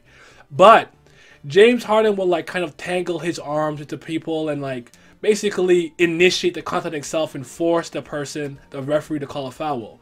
Do you know why I don't get mad at James Harden for doing this? Because the refs enable this behavior. You're rewarding it. Leez is Leez not taking agency and control of her own life as as Asha was mean to her, just didn't want her to learn nothing, was a dickhead to her at every turn and had tried to kill her on multiple occasions and you still sticking around you cannot put all of that on Asha. At some point, what you were complicit in this. I'm not saying you weren't a victim, and I'm not saying that the blame isn't like 70-30 Asha, but take onus for what happened to you because you didn't have to you didn't have to do this. You didn't have to follow her. You chose to do this. So I, I believe that kind of justifies Asha in a very, very shitty way. Just not make her a good person or nothing, but I, I can't be upset with that because I'm saying, again, was do I like what James Harden is doing? No, that's not basketball, and it's kind of nasty to see, and it doesn't even work in the playoffs. But why wouldn't you do something that's rewarding you? You're getting free throws out of it, so I understand. You having her around benefits you in certain ways. Now, it wasn't the way that we thought, where like, oh, she felt that as Rao's daughter, she could be a capable fighter. It's like, no. I guess Asha had some type of reverence and respect to some degree about Rao, even though she claimed that she killed her, killed him. That when the Kubera that she came to, to to to finish off in this place said her name was Lee, she was like, oh fuck, oh here we go. So she kept her around as long as she could literally, physically, to- and mentally tolerated. Because now you've messed up her own plan. So now you're a liability. If she can't win, no one can. So yeah, that was crazy. That trial was really, really thin. Because like I said earlier, I really thought that her killing the other Kuberas was making the power of name basically only be, be basically by killing every single Kubera and leaving one the power of name would be the strongest in Kubera Leez. I thought that was the goal. But it turns out that, that she had a deal with Vishnu. And with every Kubera with the power name she killed, he would increase her divine in, uh, divine affinity. And let's talk about what I believe to be no, I'm not gonna go that far because there's some I've some image comics that I've read that are very good. But in terms of a character's backstory arc being told in a short span of time, so four chapters, four episodes, if you will, which was just called Asha, I thought was phenomenal.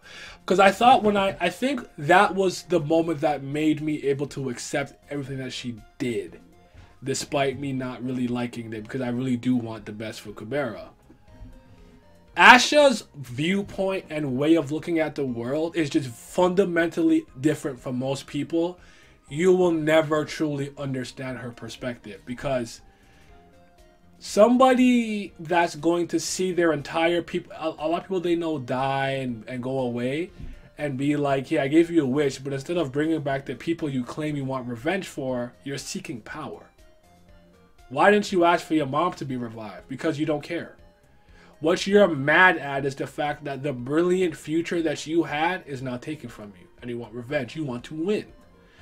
And seeing how kind of an emotionless, not emotionless, but you know, not emotion driven, not emotion goal oriented, not emotionally idealistic, just a a much more calm, calculated individual. There's people like this. They have no use for people who are like, emotional and rah rah and screaming and running around. Where it's like, yo, being calm and collected, being reasonable, being logical is the move. We use facts, we use statistics, we use proven um, human history, we use precedents. We don't just, you know, act on our emotion and feels.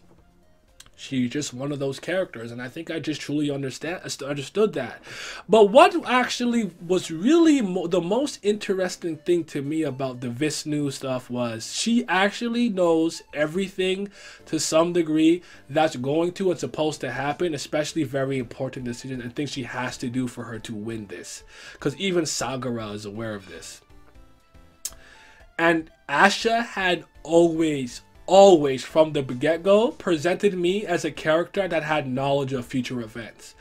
Now, I actually believed in my head, my tinhail, my tinhailed, wow, tinfoil theory was that Asha had actually either physically seen the future or been to it, and I thought somehow the Hoti Vishnu stuff, being a time-related spell, and when we are going through she kept using it and trying it. I thought she was trying to somehow send herself back in time or or learn how to time travel. I really did believe that. Now what she ended up doing to me i thought was far more interesting kind of giving her a punishment that removed her from existence so that she could extend her already because Hoti, Hoti Yama was used on her and she's still very young she wasn't going to live very long. So, in order to actually make it to the year that she needs to be alive in to get what she needs done, she abused a time spell until she had to be punished for it and removed from existence. Do you guys understand what kind of fucking 6D chess this is? Everyone is playing fuck, not even playing chess. They're playing in the dirt with sticks and she's playing six dimensional chest. It's just it's just not fair. Homura is a character in Puella Magica Madoka that had uh, had essentially experienced a moment in time so many so frequently that she became so numb to it that even in pursuit of doing things which is supposed to help a person she cared about it's hard to see that. There's no empathy with her really, and she's very drained and devoid of like light in her eyes. But when you get the backstory, you can see why this happened. And I felt like when I got it with Asha, I truly understood understood this. She's like, I have a goal so important to myself, I literally don't care about who I have to trample on. Because if there was any character that I believe that Asha had shown even an ounce of respect towards or reverence to, it was it was Rao, to the point that she didn't even want to immediately body like uh, she said, out of any compare that I could have killed right now, you're the easiest. You're not a threat to me. You're weak. And I'm like, dang, that has to hurt to see. I don't know, man, but. Then the story of the season comes full circle with uh, it failing, Kubera failing again and saying you're just fucking useless. Like, see, I proved my point, but if I can't win, no one, no one can. Lorraine dropping into her saying, You brought Saha into this. You're just a monster. You're trash. I shouldn't have believed in your justice. I should have believed in mine or whatever. Oh, long term payoff. Yuta and Leez finally making that connection. Her being able to hear his voice and him siding with Asha, her feeling alone, her taking everything off. Just take the store, take the height of bondage, whatever the fuck. Take my body, kill me too if you want to.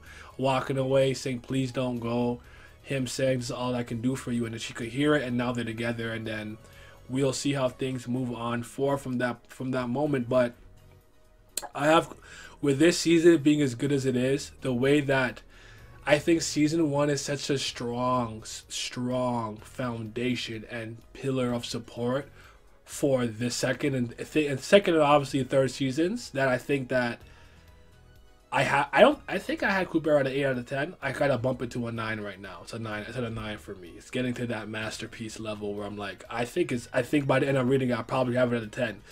When I rank something a ten, it doesn't mean it's perfect. It means it means one of two things or both of these things. I think it's a masterpiece, not perfect, a masterpiece, or two, whatever I believe the intended purpose of the narrative was was fulfilled or completely achieved. You were successful in doing that. So, if I am reading a comedy series that's like 10 chapters, but I legitimately thought it was hilarious, it's a comedy series. The point is to make me, the reader, laugh. I laughed a lot. It's a 10 because the intended purpose of this narrative was fulfilled. And I feel like what she is doing with with with Kubera is she's she's pretty much hitting all the nails at the right time. So let me stop talking because I've been speaking for a long time. Look forward to more Kubera videos, of course, season three stuff, some season three reactions and everything. But phenomenal season.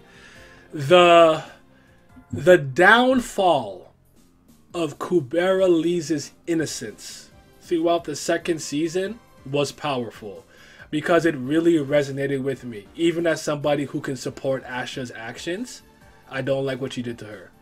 And oh, oh and I have to I, I can't I can't leave without speaking about the I one Kubera, King of Snakes, all of that stuff. Kubera's life would have been next to perfect or without hardship and peril if Vishnu did not intrude and and, and basically she did not kill Ral to not Ral, Ral go back to the family, which sent her life down this path. We heard a lot about past, taking this path a lot from certain characters and decisions and whatnot. Here's what I find interesting about that though.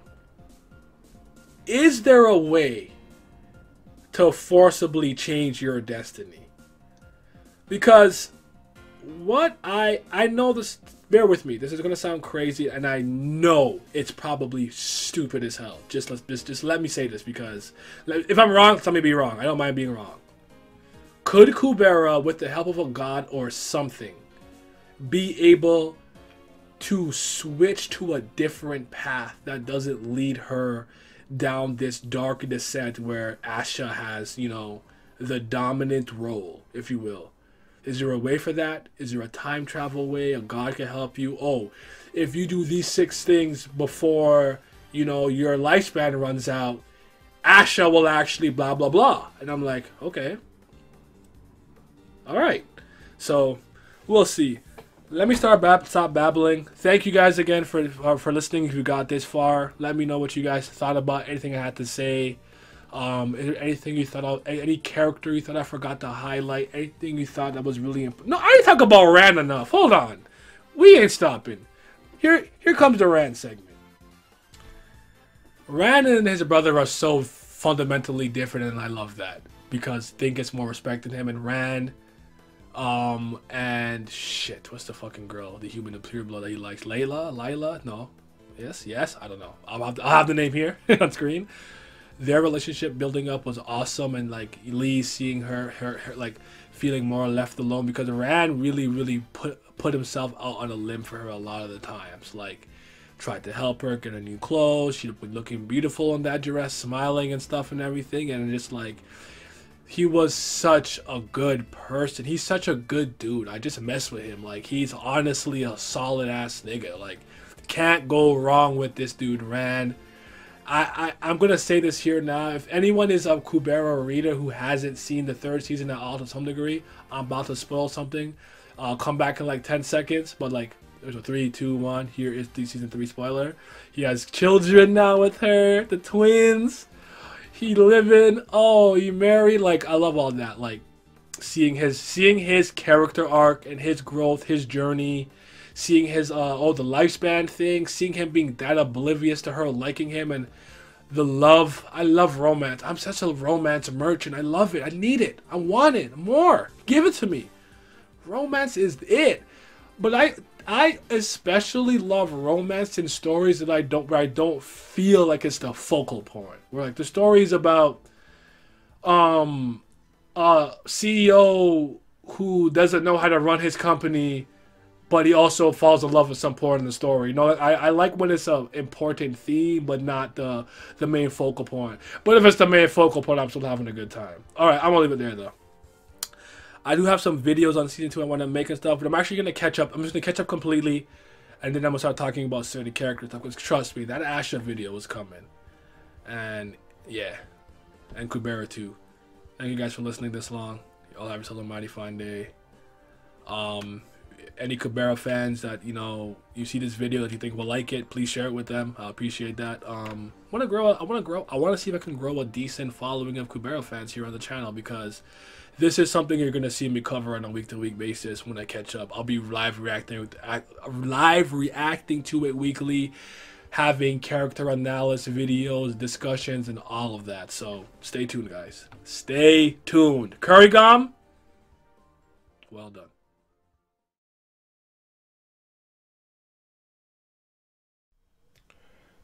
So in the same way and vein that I've done the Kubera reviews, I wanted to take this time to speak about I believe there was 13 different chapters specifically of the special Kubera chapters that came out for like season 3. I I believe it was during some type of breaker hiatus whether it was uh, self-imposed one or one after the second season but i want to talk about these chapters because i actually found them to be very eye-opening fantastic in their own right and one thing that I truly appreciated about them was that a lot of times when I get these extra chapters, they're usually something that's very silly and not important enough that you have to put too much uh, stock in it. So you could actually just ignore it for the most part. But what I would say with these recent these these Kubera ones is a lot of the times when I get that new information from a side story or something, there's something that I would I would argue it conflicts with in a major fashion where every extra tidbit here that I got, extra information, a little more detail about a side about a story that I, I may have not known the other side to, the other side of the story, um, which is a current arc in Kubera. I don't think it conflicts with anything. I think it only enhances characters, enhances moments, enhances scenes. And I think that is a very important thing that every Kubera fan should read. If you have not read it, I will have a link to those chapters in the comment section below. Let's talk about it.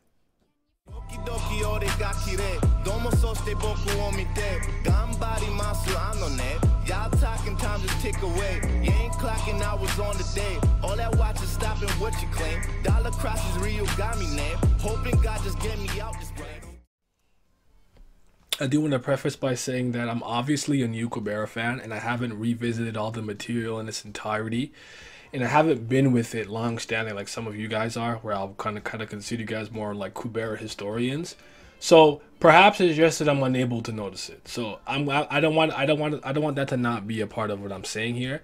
But I truly I trust in Currygom's writing ability and ability to plan short, mid, and long term in terms of the plot points and characters that she comes up with. So I am going to go in good faith and believe that I am, at the very least, mostly correct on this part. Like the video, subscribe if you're new here, and hit the bell to stay notified, okay? These chapters were fantastic, but Currygom is mean, cause pain. Pain. Wish did not, you didn't have to do that with me with Wish. I didn't ask for that. There's, there's just no reason. You see this picture here of Jatayus, aka Yuta, kissing her and stuff like that. Whole that whole scenario really reminded me of a bunch of comics and things that I really like. Like when Superman had um I can't why can I remember the name this the name of the thing the star on the starfish on his face the alien parasite thing that made him imagine the life that he wanted like the like like the, the, the actual life that he truly wanted not the reality that he's currently in and it's like this um, mental psychological transcendental that was that they were using on her to make her and and Yuta kind of live this fake life. It's just like I didn't ask for this. That's just hurt my feelings for no reason, but it's extremely vital and important because not only do we kind of get more insight to what happened in the Sura realm during those seven years, and we get a, a, a deeper look at how they've kind of grown but the pain and torment that they both go through through the fact that they can't properly be together and how that bleeds someone into Kubera's um kind of personality whatnot to the point where she's like she I respect one thing I really respect about her is she no matter how painful the real world is, no matter how painful reality is, like Thanos said, real, reality is often disappointing. The MCU Thanos, obviously. Um she accepts it or will or will or kind of chooses to deal with it. You could there was definitely a point of denial with her for a long time, but she actually will just be like, "No, it's not real. I don't want it if it's not real." And I respect that cuz that's hard to do, especially nowadays in our current society. No people aren't like that. People are okay with being quote unquote blue pill. They'll just be in the matrix put me in the matrix even though i know i'm being a human battery and it's like no she would rather be like neo and trinity and morpheus and actually see that the machines are using us as batteries and i and i have tremendous respect for that especially in these times. But speaking of some of the other ones, I have to say this because this was this was probably one of the things that shocked me the most, other than, I mean, me getting my feelings hurt with Wish. I thought seeing Ran's older brother Lutz Lutz, however you pronounce his name, I I say Lutz because like Butts or Larry Butts from like like uh, Ace Attorney, so I'd say Lutz sometimes, but maybe it's Lutz. I don't know.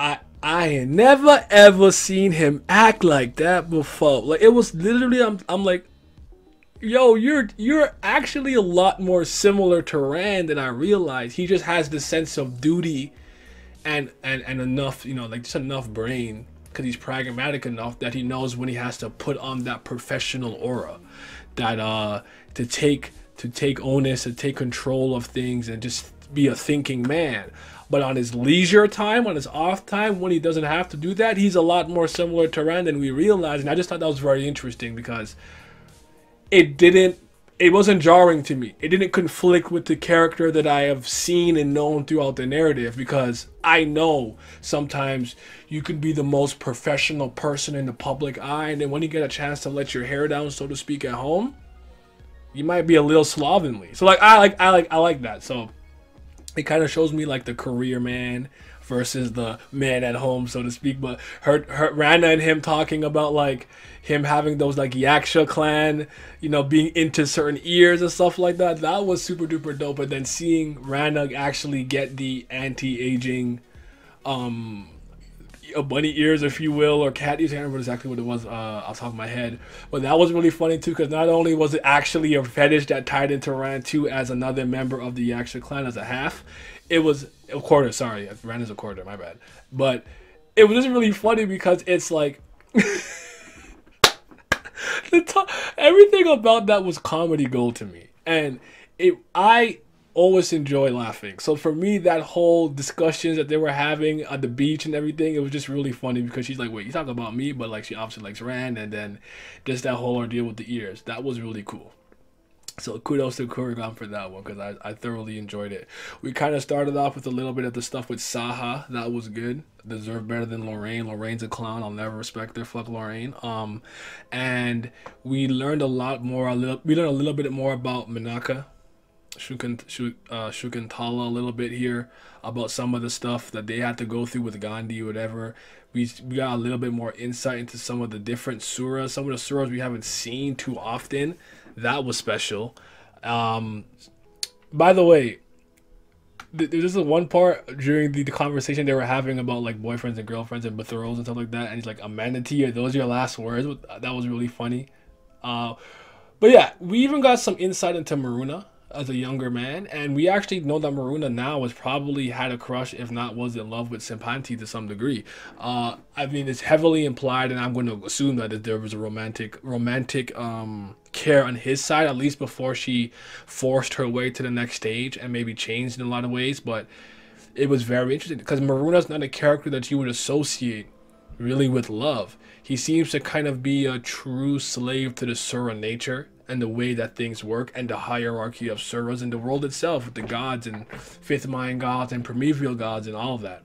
However, again, what really shocks me with these revelations and these moments is that not only are they not they're completely believable, it doesn't actually clash with the current version of the character that I'm used to. I believe this. This is very believable to me and very well thought out, very well presented. Whereas their growing relationship from him in a, in a younger form and seeing her change and this, that, and the third, I'm like, yo, that was very, very impressive. So, again, these special chapters are probably something that maybe a lot of people might write off as just, yo, it's just like extra content, but it's like, no, we really do dive into some very important moments here. One of them being one of the versions of Brilith with, that didn't have a name and Agni actually running into her, but not realizing this was one of the versions of his everlasting betrothals, which which was fascinating in its own. I didn't realize that in the moment. It was it was a lot of you guys that helped me that helped clear that up, but that's fascinating. And Agni almost felt to some degree like he had cheated on her. Seeing Kubera just go after after Yuta getting uh, but Airavata just hitting her over and over, and she's just healing up, healing up. I know I'm, I'm all over the place. I'm sorry, but like Like that that hurt to see.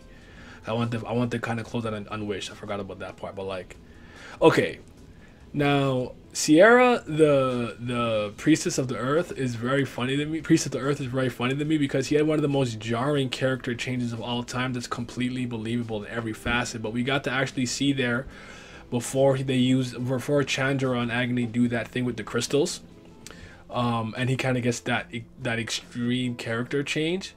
You get to see a lot more insight into how he is and how he was, and even on a mission, and how his, he was struggling with his vigor and how they were treating him and whatnot. And it's again a jarring contrast to how we've how we know him now now and then but it was nicer it was really important for me to get a little extra insight to how sierra really is and was before that happening. Now he's with asha and doing their thing because now i truly understand him a lot more and the journey and the, and the, and and why the change is so kind of fucked because now that's just not the same person. You feel me? So I think that if you haven't read this, it's important. Definitely check it out. I think Gaze is really good. I liked Wish a lot among some of the other little side stories in there. And I, to me, it's like those 13 chapters, if you will. Not necessarily 13 story arcs, but 13 chapters. A couple of these were more than one. Like 9, 8 out of 10. 9 out of 10 for me. Sorry. I would say 9 or 9.5 out of 10. Like, absolutely phenomenal definitely check it out if you if you if you have a chance to. I will have the link there in the comment section below. But also speaking a little bit on the Brilith part real quick just because it's interesting. Seeing the different versions of Brilith is also extremely important because we know about the the old the ancient human soul and how it works right? And having seeing some insight into the harshness that Brilith had to deal with through her, her many incarnations adds to the believability of her attitude today in season three as Neo Brilith has come out through, you know, the current Brilith through and then is doing what she's doing and how she had presented herself, how she doesn't really mess with certain people, and the selflessness that she would have for the betterment of the universe due to the fact that she spent a long time in the universe, even if it's through, through reincarnation, so to speak, and understands it's important and is still a caring person, even though the methods are a little darker now because of silent magic, this, down the third. But I'm rambling. Fantastic chap set of chapters. Please check it out if you have the chance when you get the chance to. And Currygom, stop being mean. I, I don't I don't like this pain. this pain. This is pain. Just puts up through so much pain. I wouldn't say unnecessarily, but Jesus Christ, man. All right, guys. Have a good day. I'm gonna be out. Yeah.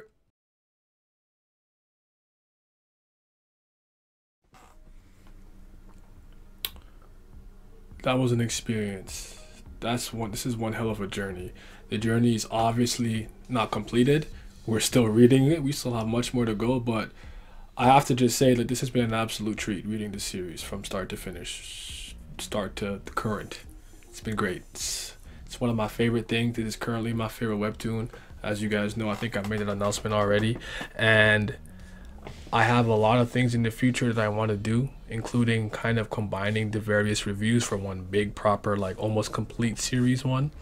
But as of this review, deconstruction, analysis video, whatever it is you want to call it, I am on Enemy Part 4 season 3 2004 oh 2004 204 so that's just how far i am as of right now. So obviously season 3 is not completed. I don't know if there'll be a fourth season. I don't know if this is the last season. So you have to just go up until this point in time. But yeah this has been an absolute treat. It's been really great and i just want to thank the community. I want to thank kako for rigging this the um the poll when I said what webtoon should I start covering more often on the channel. But the community's been really great. Um, very, very, very nice, very welcoming. I appreciate you all. It's really good to be here. I think the discussions have been really, really dope. I hope to be able to bring you a lot more discussions weekly, especially at some point. But you will owe me therapy money. I need therapy after this. This shit is good. It hurts though. It hurts good, but it hurts. I think I've been hit by a couple of psychological transcendentals. I need you guys to pay for my therapy. Yeah, that's what I'm gonna need from you guys. But all seriousness, season three to me has been like everything season one and two has been building up to. I said season two was was was like long term payoff. Well, um, this is like even better, and so many things happened, and I love that as we're getting further. Sure, there are more mysteries and more things that we're um going to have to explore, but we are getting answers for things that we are already kind of pondering. I don't like when we get to a certain point in the series and I feel like they're just piling on more and more intrigue and mystery. There comes a point where you need to start answering questions, and I appreciate that season three does that. Sure, they might throw in some new stuff, but they are answering things that we've been inquiring and thinking about from season one and two. So, without further ado, let's hop into this review. Like the video, subscribe, hit the bell to stay notified, and listen. Our community is not that big right now. It's pretty small. Let them know I'm the guy. I'm here. I'm here talking about Kubera, doing what I can do. I'm trying to carry this community on my back if I have to. I got broad shoulders. I can handle it. Tell your friends. Share the video. Let them know I'm out here. Oh Lord, where does one even begin when talking about Kubera season three? I think the only appropriate place to truly commence is the artistry, the improvement, the overhaul of the artwork. You can tell that Kurigama has been trying hard to improve the overall aesthetic of the webtoon and I think she's done a fantastic job of that. I'm very impressed. I think seeing Agni and Brilith and a couple of characters kind of off rip in that new art style hits you like, oh, it could be a little jarring because you know it's not typically how some characters are drawn, but the detail is great, and you can tell that she's still trying to improve on her artwork, which I appreciate. I would argue that a lot of creative teams, writers, mangakas, whatever, if they have a strength, they tend to lean into that strength. And Kurigama's strength obviously lies more so with the pen, you know, than the brush, I would say. She's an extremely talented writer. You've heard me praise her to high heavens about her ability to converge events together with like eight different moving parts that are all equally as interesting as the main conflict. Very, very talented writer. But I respect that instead of using as a crutch like okay i'm gonna just leading to my writing and my writing only because this is the thing that i do best. I'm also to continue to strive to improve the artwork that i make i put in this story. And that ties into combat. This is not a this is not a meathead series. This is a, a I almost said power fantasy. You say is it a like a tragic romance? I would call it a fantasy romance, right? A lot of that is part of the story. This is a, this this story has a really big romantic theme in it, and I'm a huge fan of romance. If you guys don't know, I'm a bit of a hopeless romantic. I won't lie to you. It's it's hard out here, man. It's hard. it's hard out here, man. But um, yes, the fact that I would say that Kurigama has really improved the combat, the fighting, and it happens more frequently, I honestly would argue that it was the thing that the series was truly missing. I I have to admit that for the first two seasons, especially while in season two there was a lot more action, even though it was still pretty sparse and, and it happened sparingly. I thought that's this was something the series was missing. I didn't need it to have a focus and have a lot of combat in it, but for characters who live for these millions and millions of years and can like wrap themselves around the planets a couple of times and destroy entire solar systems and things of that nature. I'm like, y'all need to start fighting, my dude. Like, y'all can't be this powerful. Y'all got gods, primordial gods, all these Suras and Nastikas and everyone being mad strong, these humans and magic and stuff. And it's like, y'all need to throw some more goddamn hands, baby, because it is just too it is just too they're too powerful and to me it's too important. And i like that this this season i would say to me has the most combat in it. And a lot of it is nothing incredibly over the top but enough for it to work. I enjoy just seeing two big kaiju suras going at it. Just you know wrestling. That shit is raw. So kudos to her there because she a lot of improvement now you kind of get her her showing off that off rip with Leez actually using the sword of the end and oh the golden is it golden knight? The golden knight um like the bracelet and like in tandem with uh I believe she's riding on Kasak in the Sura realm. Like it's almost like she was immediately excited to say look I've been working on the combat. Look at what I'm doing. And it was great. And to see Leez overall improvement as, as well was a treat. Kind of seeing Maruna um standing around kind of getting fed up with Gandharva you get you see my girl Airi getting followed around by Asura, and then just a lot of things that are happening really quickly. Like it's honestly, a very nice treat to me in the sense too when this, the season starts we start a little bit wholesome. I do think that tone shift is a little bit intentional where it's like oh the kids oh look ran oh, married yada yada because you know she's she's mean. She's just gonna hurt us after she after she gives us what we want. Oh love and romance and nice things. Yeah and she's like and it's like you kind of you kind of have one eye open like all right when is when is the punch coming? Like she about to hit me in the gut at some point so anyways yeah. All the priests get like a um for the most part get some type of letter some type of some type of summoning. So you know like it's starting to build that intrigue for what's happening currently right now which i really much appreciate. And um let's dive into one of my favorite characters. You know i'm a priest merchant priestess merchant. Let's talk about Teo and the Teo Rakan, who used to completely trust and help strangers, she died seven years ago with, with the God Havra on the Frozen Tears event. And how all of that led to the Hoti Vishnu thing. I, you guys hear me. I'll, I'll always kind of. It's, it's funny because you guys make fun of me. Like for somebody who doesn't want to be on the do not resurrect list, I seem to have a thing for women who are uh, been resurrected. Right? There was just something about it that I didn't trust. I'm not a person who believes in quote unquote um, reanimation or life after death in the sense that I mean I believe in the afterlife, but I don't believe that you can really come back from from death. I don't believe in that. Um, so, and honestly, I truly believe that if my time on this earth is done, it's, done. It is what it is. You gotta you gotta let me go um, and move on and do the best you can. If the situation is really that dire, where it's like maybe I was the only person who can lead us to salvation here, like it's, I was some military leader or something, I kind of get it, but still, you gotta move on.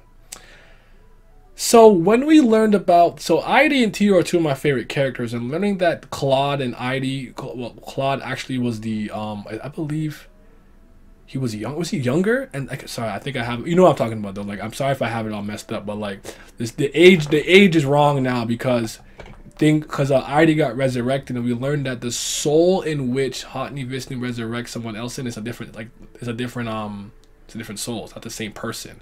So one of the themes about um, in Kubera had to do a little bit with like what is the soul? Is the soul just a battery to kind of power and animate the body? So it's like let's say I Nya Hemmingz passed passed away, and a few years ago maybe somebody I knew named TJ passed away. So I passed away, someone used a Hoti Vishnu on me. The body is reanimated and it has all of the memories and experiences that I did, but the soul of Nya is not actually in this body. It's TJ.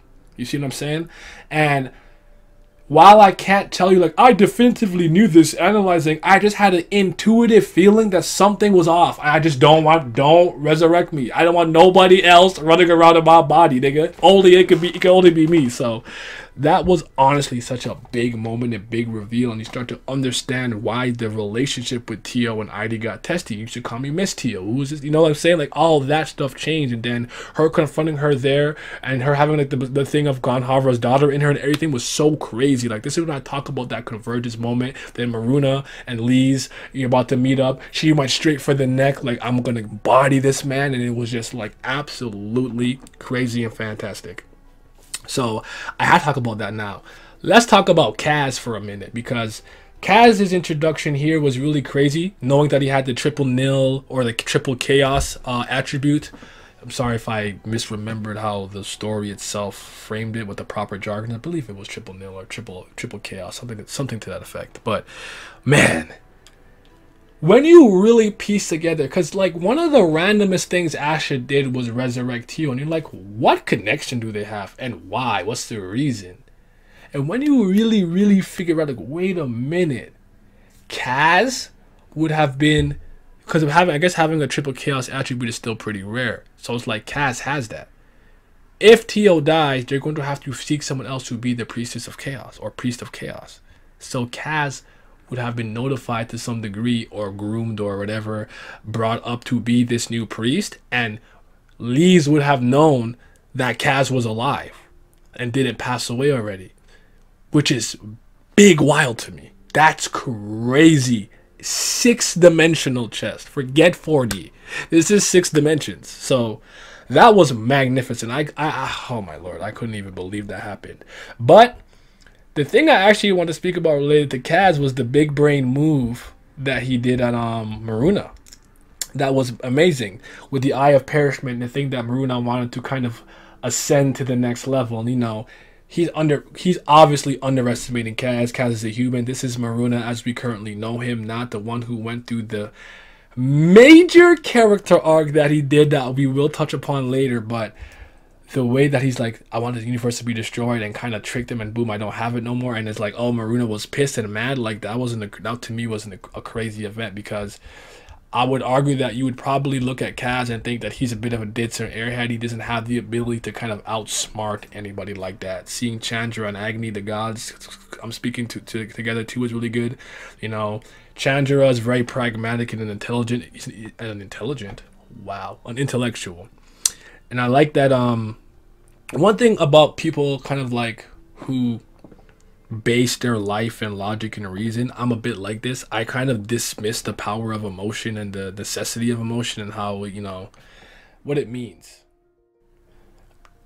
And people like us need somebody who's a bit of an empath, a bit of an intuitive feeler to kind of ground us a little bit because all of it matters. There's times where being a bit emotional or appealing to emotion is logical. So when Agni says you're smart, so you basically end up being correct most of the time, which is why you don't ever see the possibility of you being wrong. I like these type of little moments here. So I know this is this is probably a very a seemingly very unimportant moment, but I appreciate stuff like this because it kind of shows you the different the dichotomy and the different relationship and the different ways of approach that these two have.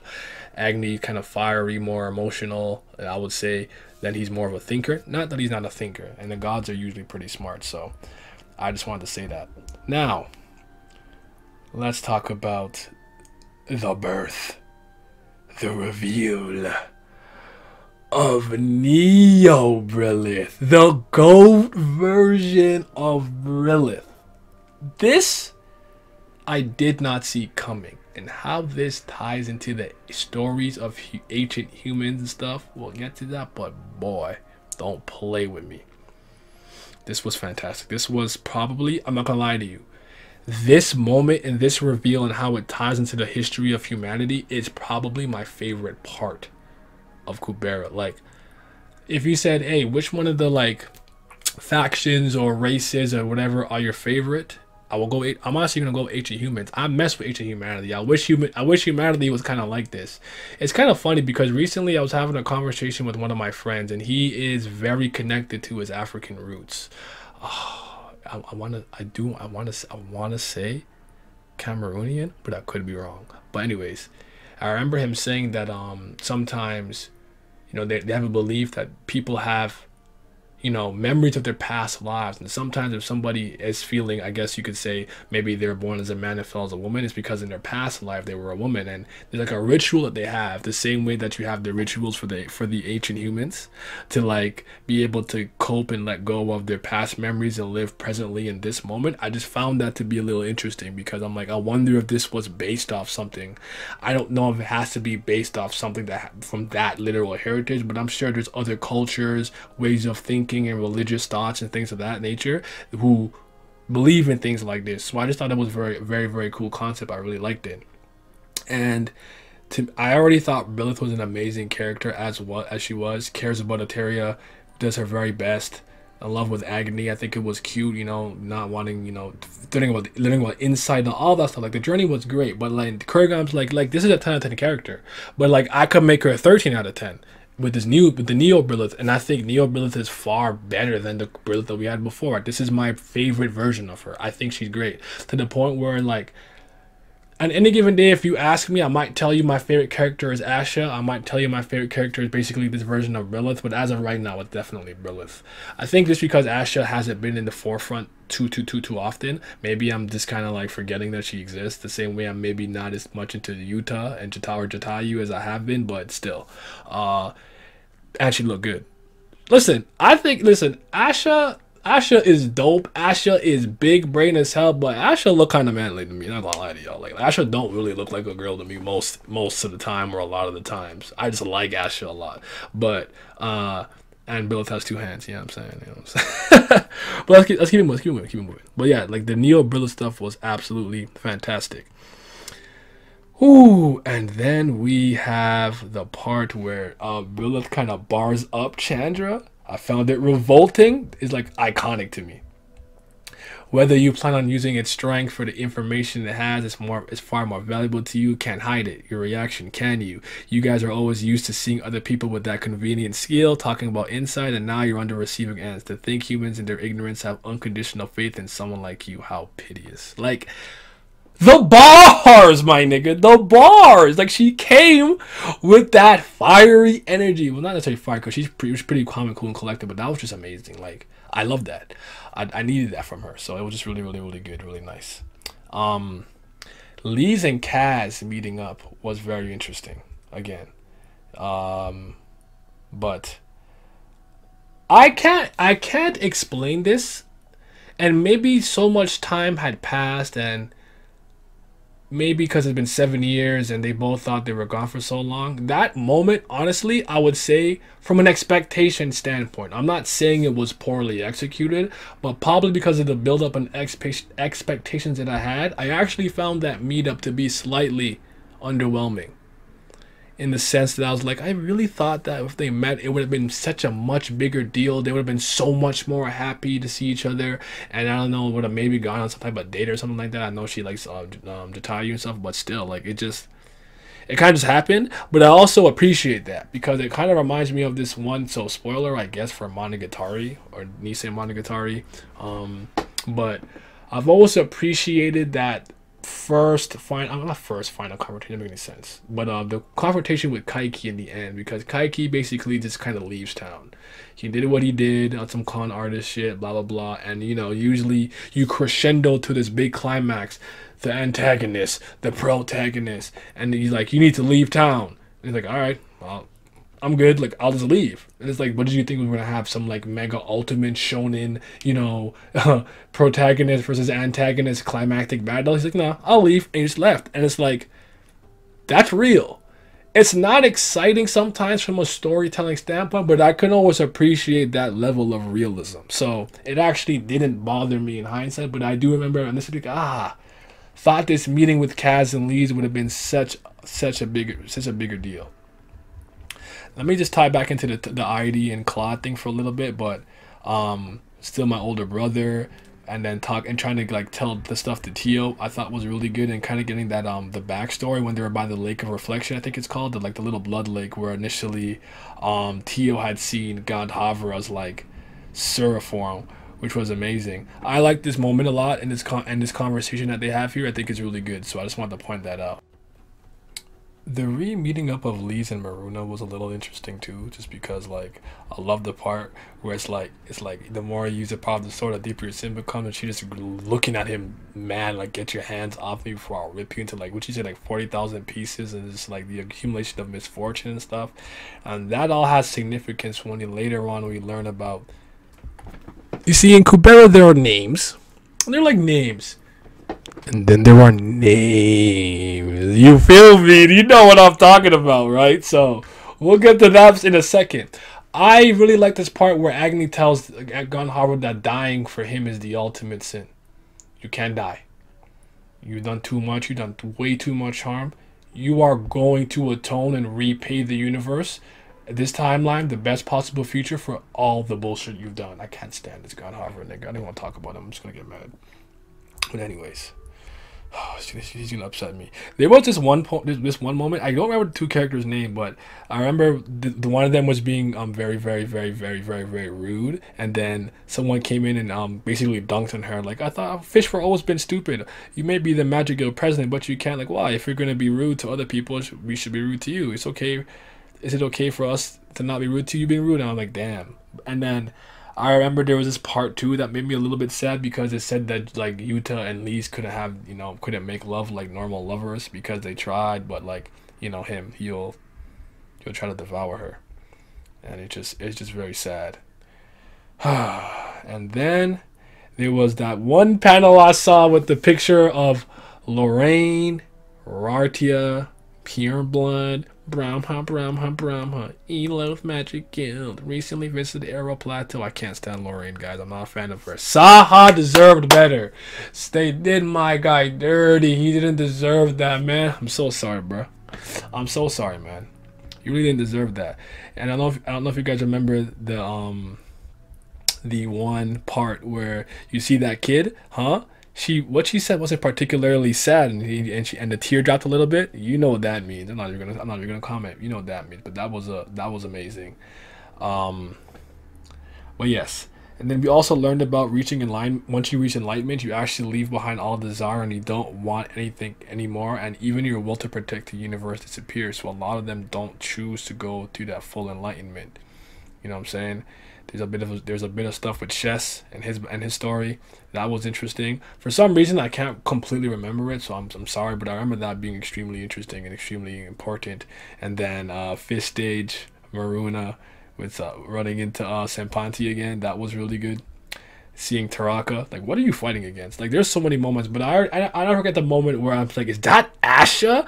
Her arm was looking kind of monstrous. The hair was long. The cloak was coming, and I'm like, this is what I've been waiting for, cause like because of the Hoti Vishnu, people were not really remembering that Ashta, Ashta, or even Sagara on certain people really existed because of what happens with that stuff, right? But man, I know when she's fully reintegrated into the narrative, things are gonna pop off because she is playing 6D chess with everybody. So that I cannot wait for. It's gonna be good, man. It's gonna be great.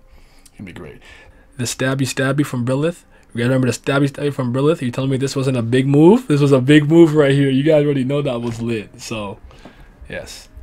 Now, we go to Kubera Leez Ananta. You have Ananta's name? You what? When I saw that, I didn't even know what to think initially. I just, my brain just went, just fried, overheat. What do I do with this? Why does she have that name? Why did you give it to her? What does it mean? Anata was the strongest. And I think learning about his sin of indifference, does she take that on too? You know what I'm saying? Like there's so much to consider there. And I was just like seeing that and I'm trying to kind of make sense of the numbers. It's I think it said like like N zero zero zero two three ten something something ten. I'm like, bro, what's that mean? I like how much time she has left. Like on some death note, I have the Shinigami eyes. I can see the date the day that which you're gonna perish. You're gonna perish. That was awesome. And then, you know. Currygom, what are you doing, man? What are you doing to us?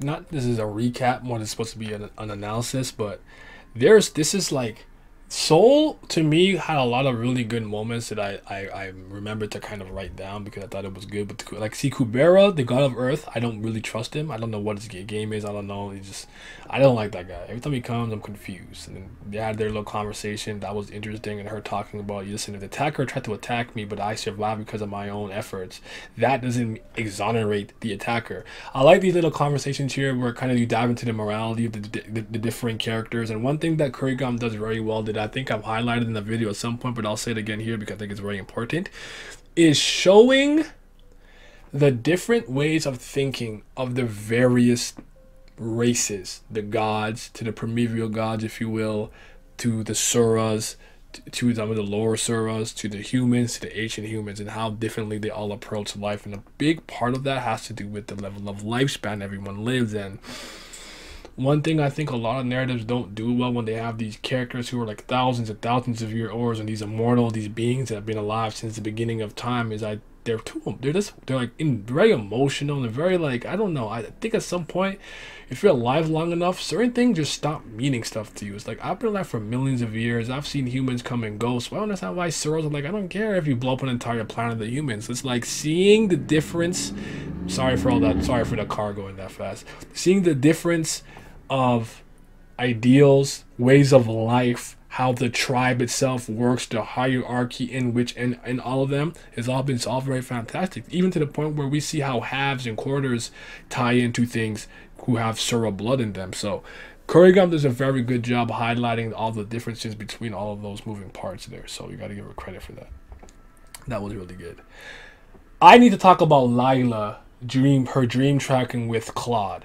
Claude is a character that I actually enjoy a lot. You guys right now I'm a, I'm a bit of a priest priest and priestess merchant, but Laila to me really really did a lot of stuff in this season that maybe like her even more. I already like Laila. I thought that, this the goofy little earmuffs and face thing was really cool. Plus she's a Kubera, you guys know that already. But listen, when they were when she was dream tracking Claude and decided to save him and everything, at the cost of his memories because I like the God who caused my teacher to die, or because I feed him, or because I think he's in the right. And the way that they were talking, and he to that to the to the shadowy figure saying, you know, how Claude aspires to cold rationality, but has not lost his habit of falling headlong into anything that interests him, which resembles his old friend. That little back and forth, and her trying to uncover some secrets and whatnot. That's a really good moment to me. Like I, it stands out to me in the entirety of Kubera and Laila is a character that I hope gets to continue to have a lot of shine and being extremely important. And her relationship with Chandra is always something that I've liked and appreciated. And then Agni, talking about um, some of the things that he's had to do in his over the course of his long long life where sometimes the decisions that he makes doesn't reflect what he really needs or wants or wants. He does what's needed. And this also ties into Brilith too because despite Brilith's contempt and anger towards some of the people who have killed her and harmed her in her past lives because remember she's an ancient human soul which we have not talked about yet we'll get into in a second she was willing to put aside all of that stuff for the sake of the best possible future, which I think is pretty selfless. I can't do that. I couldn't do that. You, everyone, everyone's gone. I'm fighting everybody. like I'm not playing with y'all. So shout out to them, because I often ask this question how bad or how much of a downgrade is the quote unquote second second best outcome or second best possible future second best possible universe whichever terminology you want to use? How bad is it? Do we really need to be going through all this pain and suffering? Do we really need to save that fish hover like do we need to? Is it an absolute necessity? So I'll be thinking about it all the time. I'm like, I honestly would would argue that maybe you just tone it like just you know what, it is what it is. Let's just go for the second best one. But they seem to be super adamant on not doing that. So yeah. Now let's dive into some of the some of the things that I really want to talk about. I'll talk about ancient humanity and why I like them so much. I kind of spoke about a little bit of like the I like the concept of you know I really like the concept of the of humanity growing from a technological standpoint in this fashion because I think it's brilliant. Let's say I was one of the first humans ever uh, ever um created, and I'm from like the caveman era. I make fire, men make fire, and it's like, okay, I made fire in this life, and I was a hunter gatherer or something, and I'm born in the next life, and it's like, I continue to be able to kind of hone and craft and continue to do what I do well because if I'm gonna like I might not have to live the exact same life and I might have the same body, it might be, the same gender, but I would argue that this is the like humanity would progress really quickly if you could kind of hold on to your past memories.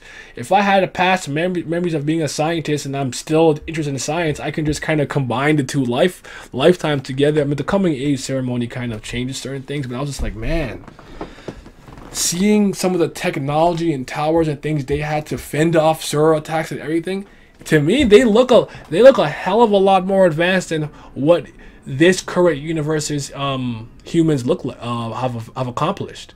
And it seems like the humans have advanced at a much quicker rate back in the day. They're so fascinating to me. I want to talk about the weight of time now, because this the weight of time and the other side of the story to me are two of the best six arcs in Kubera. I actually think Enemy has a very strong start. I love Soul. I think Frozen Tears is good. Crime and Punishment is really is really dope. There's a lot of good ones. I think um, Asha, the small one for Asha, that's fantastic. There's a lot of good ones. I mean, and, and The Night That Rained Fire, I would say is one of the first early arcs where like, ooh, like we're getting to something really good here. But yes, The Weight of Time. And seeing Maruna go through the character arc that he did was truly a treat because he's come so far and he's lived so long and had to see and see so much to start to kind of change his way of thinking because he has a pretty general way of thinking that is in line with most Suras and kind of knows his place and try to outstep and tries to keep certain types of relationships with the varying other clans depending on his relations to them, what he may or may not need to them, or his emotional feelings towards them. I recall when Ran and Maruna are kind of walking through the place beyond time, and it's like, Ran is mad talkative, Ran is very blah blah blah, yada yada. Maruna's like, bro, shut up, shut up, my nigga, shut up. Like, you're talking too much. And then you see it later on when he's like with Raltara, and Raltara's has been kind of had the will to live being out of her, and he's the one in that ran role. He's flying around, he's trying to talk, he's trying to engage. It's like that changed him was real. And him seeing ancient humanities actually saving them from time to time from attacks and things like that was something I never expected to see. While he's just waiting for Ran or just waiting for whatever he can do. And it's like, bro, how did we get here? This is incredible. Like I don't I love timey-wimey stuff. I'm a fan of time travel. I'm a fan of the many world interpretation theory. I love multiple timelines, branching timelines. I like multiple universes, pocket dimensions, all that stuff. That probably comes from my background of loving Marvel and DC comics and things and things like that. But I actually find a lot of times with anime, with manga, with webtoons sometimes, when we get into these type of concepts, people tend to kind of lose interest or not be into it, especially for some reason time travel is something that's very contentious with a lot of people. Though I do understand that time travel is one of those things, if you don't kind of do it properly within your narrative, you will kind of ruin it. It's not a joke. Like if you don't handle time, times, time, I say timing Miami because of like um, uh, I said I almost said Doctor Strange. What the hell is that show called? The Doctor. I don't know. Anyways, I don't watch it, but yeah, I, I do like time stuff. I think it can really enhance your narrative if you if you do it do it properly. But yes, seeing this journey in which he goes on meeting uh, Surya, the god of light, and everything, it was honestly a really really really good treat, and I loved it. You got to see Asha in that world a little bit for you know a little bit. That was really good. She kind of made a, a comment about Ran, That was really good. Like oh man, Rand's just there like oh god, what's going on? And then we learn about the resentment of being killed and how that can kind of translate to in, into another human's life when they're kind of being resurrected and stuff. But it is funny just seeing them throw like confetti on Maruna and he's like, "What is going on here?" and stuff like that. And then him running into Tara, that was really, really, really, really good. And then him meeting somebody he met in a previous life, and just like the slow but sure journey because you see him, he's in his outfit, he's in his outfit, and then he's in more and more and more human clothing too. Like even just from a visual standpoint, and then him actually confronting God Kubera, Brahma coming and being like, "Oh, this." She's just mad that the experiment didn't go the way that she wanted, and like you're all gonna die soon anyways. And just like, damn, translate to Yama later on, and then learning about the God realm, and now we have um you have Agni. He's reading, "Don't call me God Agni, don't call me that," and it's just wow. And I would, and I think the way it ends too is really good, because then you kind of see a little bit of the back of Yaksha, the first of the Yaksha clan, and how that ties into another story, which is now Rand's half. Because when Rand came back at some point, he seemed a lot different. You know, we saw a thing in his fifth stage, uh, Maruna's fifth stage, and Rand was like on some next level demonic stuff, and it's like no, the character journey that he went to he went through is equally as interesting as Maruna's, but I'd argue it's the opposite. And I don't know if anyone else kind of believes that. I would say that Maruna's Maruna went on an uptick, like a trend to being a better, more well-rounded. I'm not gonna say human being, but person, being. Like Maruna's not the same dickhead at the beginning of the story who just did not give a F about any human for any reason at all. He's come such a long way. We even learned a little bit of that he's been in love a couple times and his crush on Sampati a little bit. That's some of that stuff came in um the, the special chapters and everything. And I kind of think maybe Raltara. I don't know. We'll see. Then we have Rand, where I'll say it's hard to say fully because we haven't fully kind of dived into it, but Rand seems to have gone the opposite direction. He seems a little crueler, a little colder, a little less Rand, you know?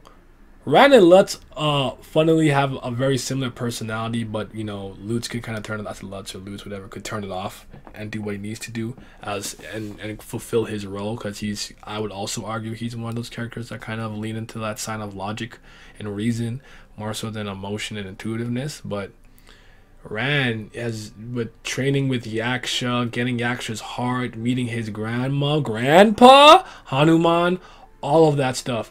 the fact that he got his head blown off and had that memory, because we always knew during the upheaval or the cataclysm, I'm not sure what translation you guys usually go by, we always knew something was off, something was weird, something was different, and we never knew what what, what was the truth behind that story with uh, Rana and um whatnot and we learned that the truth. I always knew or felt that um Ran was actually the one that kind of murdered his parents during because he couldn't control himself and what stuff. Because obviously, when one of the one of the suras that lead your clan kind of go uh, berserk, whatever, the emotional resonance causes some of the other clan member to kind of feel that same emotion. They can't always control themselves, but getting that proper reveal was a big deal. I really like that. I think Yaksha, the first the first of his clan, is an incredibly good character. I love him what he did for Ran, I think was so so special. And then him getting to get his heart back right at the end to flex against Asura just a little bit because Asura's to come for him, blah blah. And then he took him and he yeeted him, yeet into the goddamn planet. I said, bro, why you tossle like that? I loved it. I loved it. It was great. It was great seeing Inanna just yoinks um Raltara from Sagara too. Like, mm, listen, just give me just give me her, man. Just give it to me. Like, what are you doing over there? Like, let's cut that out. Let's cut that out. Like, we don't need all that. I don't think I spoke about the Kali Kali confronting Leez too much. I know, but I, I spoke with the name a little bit, but that was a good moment. I don't want to I don't want to over, overlook that. I don't want to go too into into it because I think I want to cover that separately. But the weight of time and the other side of the story to me are like the two sides of the same coin or whatever you want to call it. But I just I found it very very great. I actually thought this arc had a lot of really nice big certification battles where Ran fought with Hanuman. That was really dope, and then Obviously, Yaksha a couple of fights. That was really dope. Looking really looking like a boss, looking very menacing. And you just gotta you just gotta put respect on it. And then like the scale and scope of which how big they get, how they dwarf these planets, how these beams can just travel like light years across across space and stuff. You gotta love it. I thought the stuff with Kanara too was really good. The Kanara clan and meeting Kinara and knowing stuff about Airavata and seeing how like her position is weird, being the leader but not necessarily being the strongest. A lot of that, a lot of those things came into play. So you gotta talk. You gotta you gotta mention that too. And I think this has made Rand very very strong. I don't think anybody in present time understands how much more powerful Rand has gotten. He's going to be a problem for a lot of people, especially those who are going to decide to under underestimate him. There was always something a bit different about him, but with this now, it's over. So really really really good stuff. I think the enemy started really really solid. Gandharva ruins everything. Can't stand him. But I'm not gonna talk too much about that part right now. I'm gonna leave that there. But just let, but, but just let it be known of this of this video. I am on the fourth chapter of Enemy, but I do think it started off with a bang, extremely powerful. But let's talk about some characters that I think need to be mentioned a little bit. I want to talk about Jatayu Yuta because Yuta hasn't been a major focus of this arc of this arc wow of this um season and the reason why i want to bring him up is because i often i often say that i i personally very much enjoy how Currygom handles this cast the ever expensive cast of, of kubera. I think she does a very good job. I'm not saying it's a perfect way of doing it. When you have these stories where as the characters keep uh, growing and going to new places or the same places at different times and things change and you keep getting more and more characters and the, and the cast starts to get bigger and bigger i truly think it is very difficult to be able to handle all of that. It's not easy. It's freaking hard.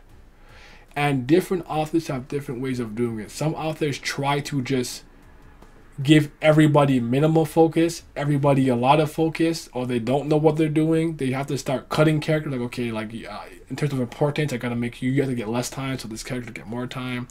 Blah blah blah. Currygom shifts her focus depending on what's happening. I could I could make the argument that for a lot of people this is a bad thing. Let's say you don't like Ran and you don't really like Maruna, and you love you love Leez. The fact that you haven't seen Leez in probably a couple years now, like to that to that effect, and these stories have been focusing on two characters you don't particularly have that much investment in, I can see how that can be a bothersome or troublesome, and how that can make you lose some investment in the story. I, however, think that because Curry Currygom doesn't really have any characters that I would say this is a poorly written character. These are characters I don't like. I can't stand Lorraine. Can't stand Gandharva. I don't think they're poor characters. And by that, that doesn't necessarily mean, hey, this character is written so well. God tier. It's as simple for me as um this character serves a very deliberate purpose and executes that well. So that's how I will describe Lorraine. Though I do think that Gandharva is actually like a, a really good character. I just I just don't like him. So back on back on track. I on a bit of a tangent. I'm sorry. So I appreciate how she handles the cast by taking focus off Leez and then off Jatayu. Then we're on Maruna. And then maybe we're talking about Asha. Then we're on Brilith and Agni. Like I like that because the way that she always ties in the reintroduction or refocus of a character, it always usually connects to what's happening currently or what the previous characters have already done. So what I mean by that? Okay, we're focusing on Maruna, right? And then Maruna and Ran were together for a while. So with the other side, we're like, oh, this is what Ran was doing while Maruna was doing this, waiting for him or trying to find him and stuff like that. Like, sure, we hadn't had that focus on Ran maybe for a little bit. I, think, I know Ran wasn't out the picture for that long, all things considered. I'm just saying, I'm just, I'm just saying, like, boom, reintroduce what he's doing. Oh wait, that directly ties into what's happening.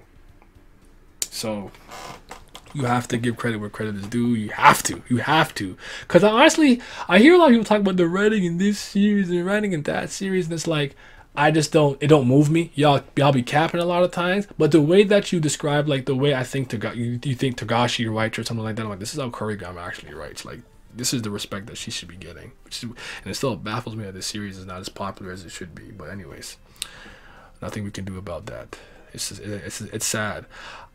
I do gotta say this. This is just a pers- a personal thing. I don't know if I'm. I want Claude. Claude has retained his personality, but without the blessing that he received, he's coming across a lot differently to me. What he what he said with uh, to Leez, the conversation that they had and stuff was still very very very good. But I'm hoping that we can re- reclaim some of the old one. Now see at, at Sierra, the other one with the brown hair and stuff, the long long hair. He had a very interesting character arc. I want to talk about him because I would argue that out of all the priests, to some degree, he was the one that was f- by far the least interesting or the least memorable until the situation that Chandra and them um, made up made with the little crystals and stuff and he went into what he went into and he came out like a different nigga. Like what the fuck? Like he's with Asha talking and that stuff was crazy. I love it. Because he kind of like like kind of being pooped on even in special chapters they're like pooping on him like oh he's out of vigor already haha blah blah and it's like look what look what he's become now. He's a demon. He's a demon now. Look what you guys have done. So anywho that's all really, really, real, real good and dandy. I want to say this one thing about enemy, then I'm going to talk about some of just miscellaneous things that I think are interesting, and I'm going to wrap it up. I'm not going to ramble too long because I think you guys are probably sitting here like, all right, guy, I'm tired of hearing your voice. The really cool thing about enemy that I'm currently digging is I don't know why I never thought about this initially, but if we're going to be you know, talking about a story and narrative that has a lot of romantic stuff and it's a romance, a fancy romance at the end of the day. But one of the big goals is to get the best possible timeline, outcome, possibility, future universe, right? How could we not explore the ones that get deleted, that are the bad versions, that are not ideal or third best? How could we not explore those timelines, those different universes? And the fact that we are doing that right now, I think is extremely significant. It's super important. And I think this will let us know why maybe a lot of the gods are like, yo, it's this best possible future or bust type beat. Do you feel what I'm saying? So I just think that that is something that we have to keep an eye on. I don't want to talk too much about what's happening there because, you know, but yeah, that's just very, very, very, very good stuff. Very good stuff. Now, for a couple of characters, I just want to talk about a little bit just to highlight them because I think it's kind of important. I think I was supposed to be talking about Jatayu. Did I? Did I? I may have run. I may have run the tangent because I didn't want to talk about him. The reason why I want talking about Yuta Jatayu was because Yuta to me was very a very focal point, a very big focal point in the second season. Him, his weird, his weird little affection with Leez. the fact that um, he was transforming to his next stage, learning about Maruna, blah blah blah, the connection to Kali, and all of that. He, I, I would say he had a much more proactive role, and as he's been more of this astral projection, more in the background, stuck in the Suram realm version of himself, I can't lie to you guys. It's not that I don't think he's interesting. I, I just have, I just, I he's on a he's on the back burner for me. So I constantly like, oh yeah, yeah, yeah, yeah, yeah, Yuta, yeah, yeah, what's up? You know, like you know, like it, it happens like that a lot of the time. So I just wanted to highlight that because I think I think it is very easy to sometimes somewhat not forget the character exists, but not think about them too much when they're not in the forefront. Unless it's a character you obviously just have a lot of emotional and physical investment. Physical? Yeah, I mean, yeah, physical investment. And they think they're hot. Yeah, you know, this this show got a lot of hot boys with their shirts off. Agni, you think you me, huh? Got your chest out. Well, anyways, this this season has been an absolute treat. It is not done. We're gonna keep going. We're gonna see how it turns out. We're gonna see how it uh how it all finishes. I want to bring you guys some discussions. I want to do a video for you guys on my second read through, speaking about all the things I didn't notice on my first read through because Kubera is obviously a series that's extremely dense with information and dense with things in terms of what you have to remember, even from just the first season.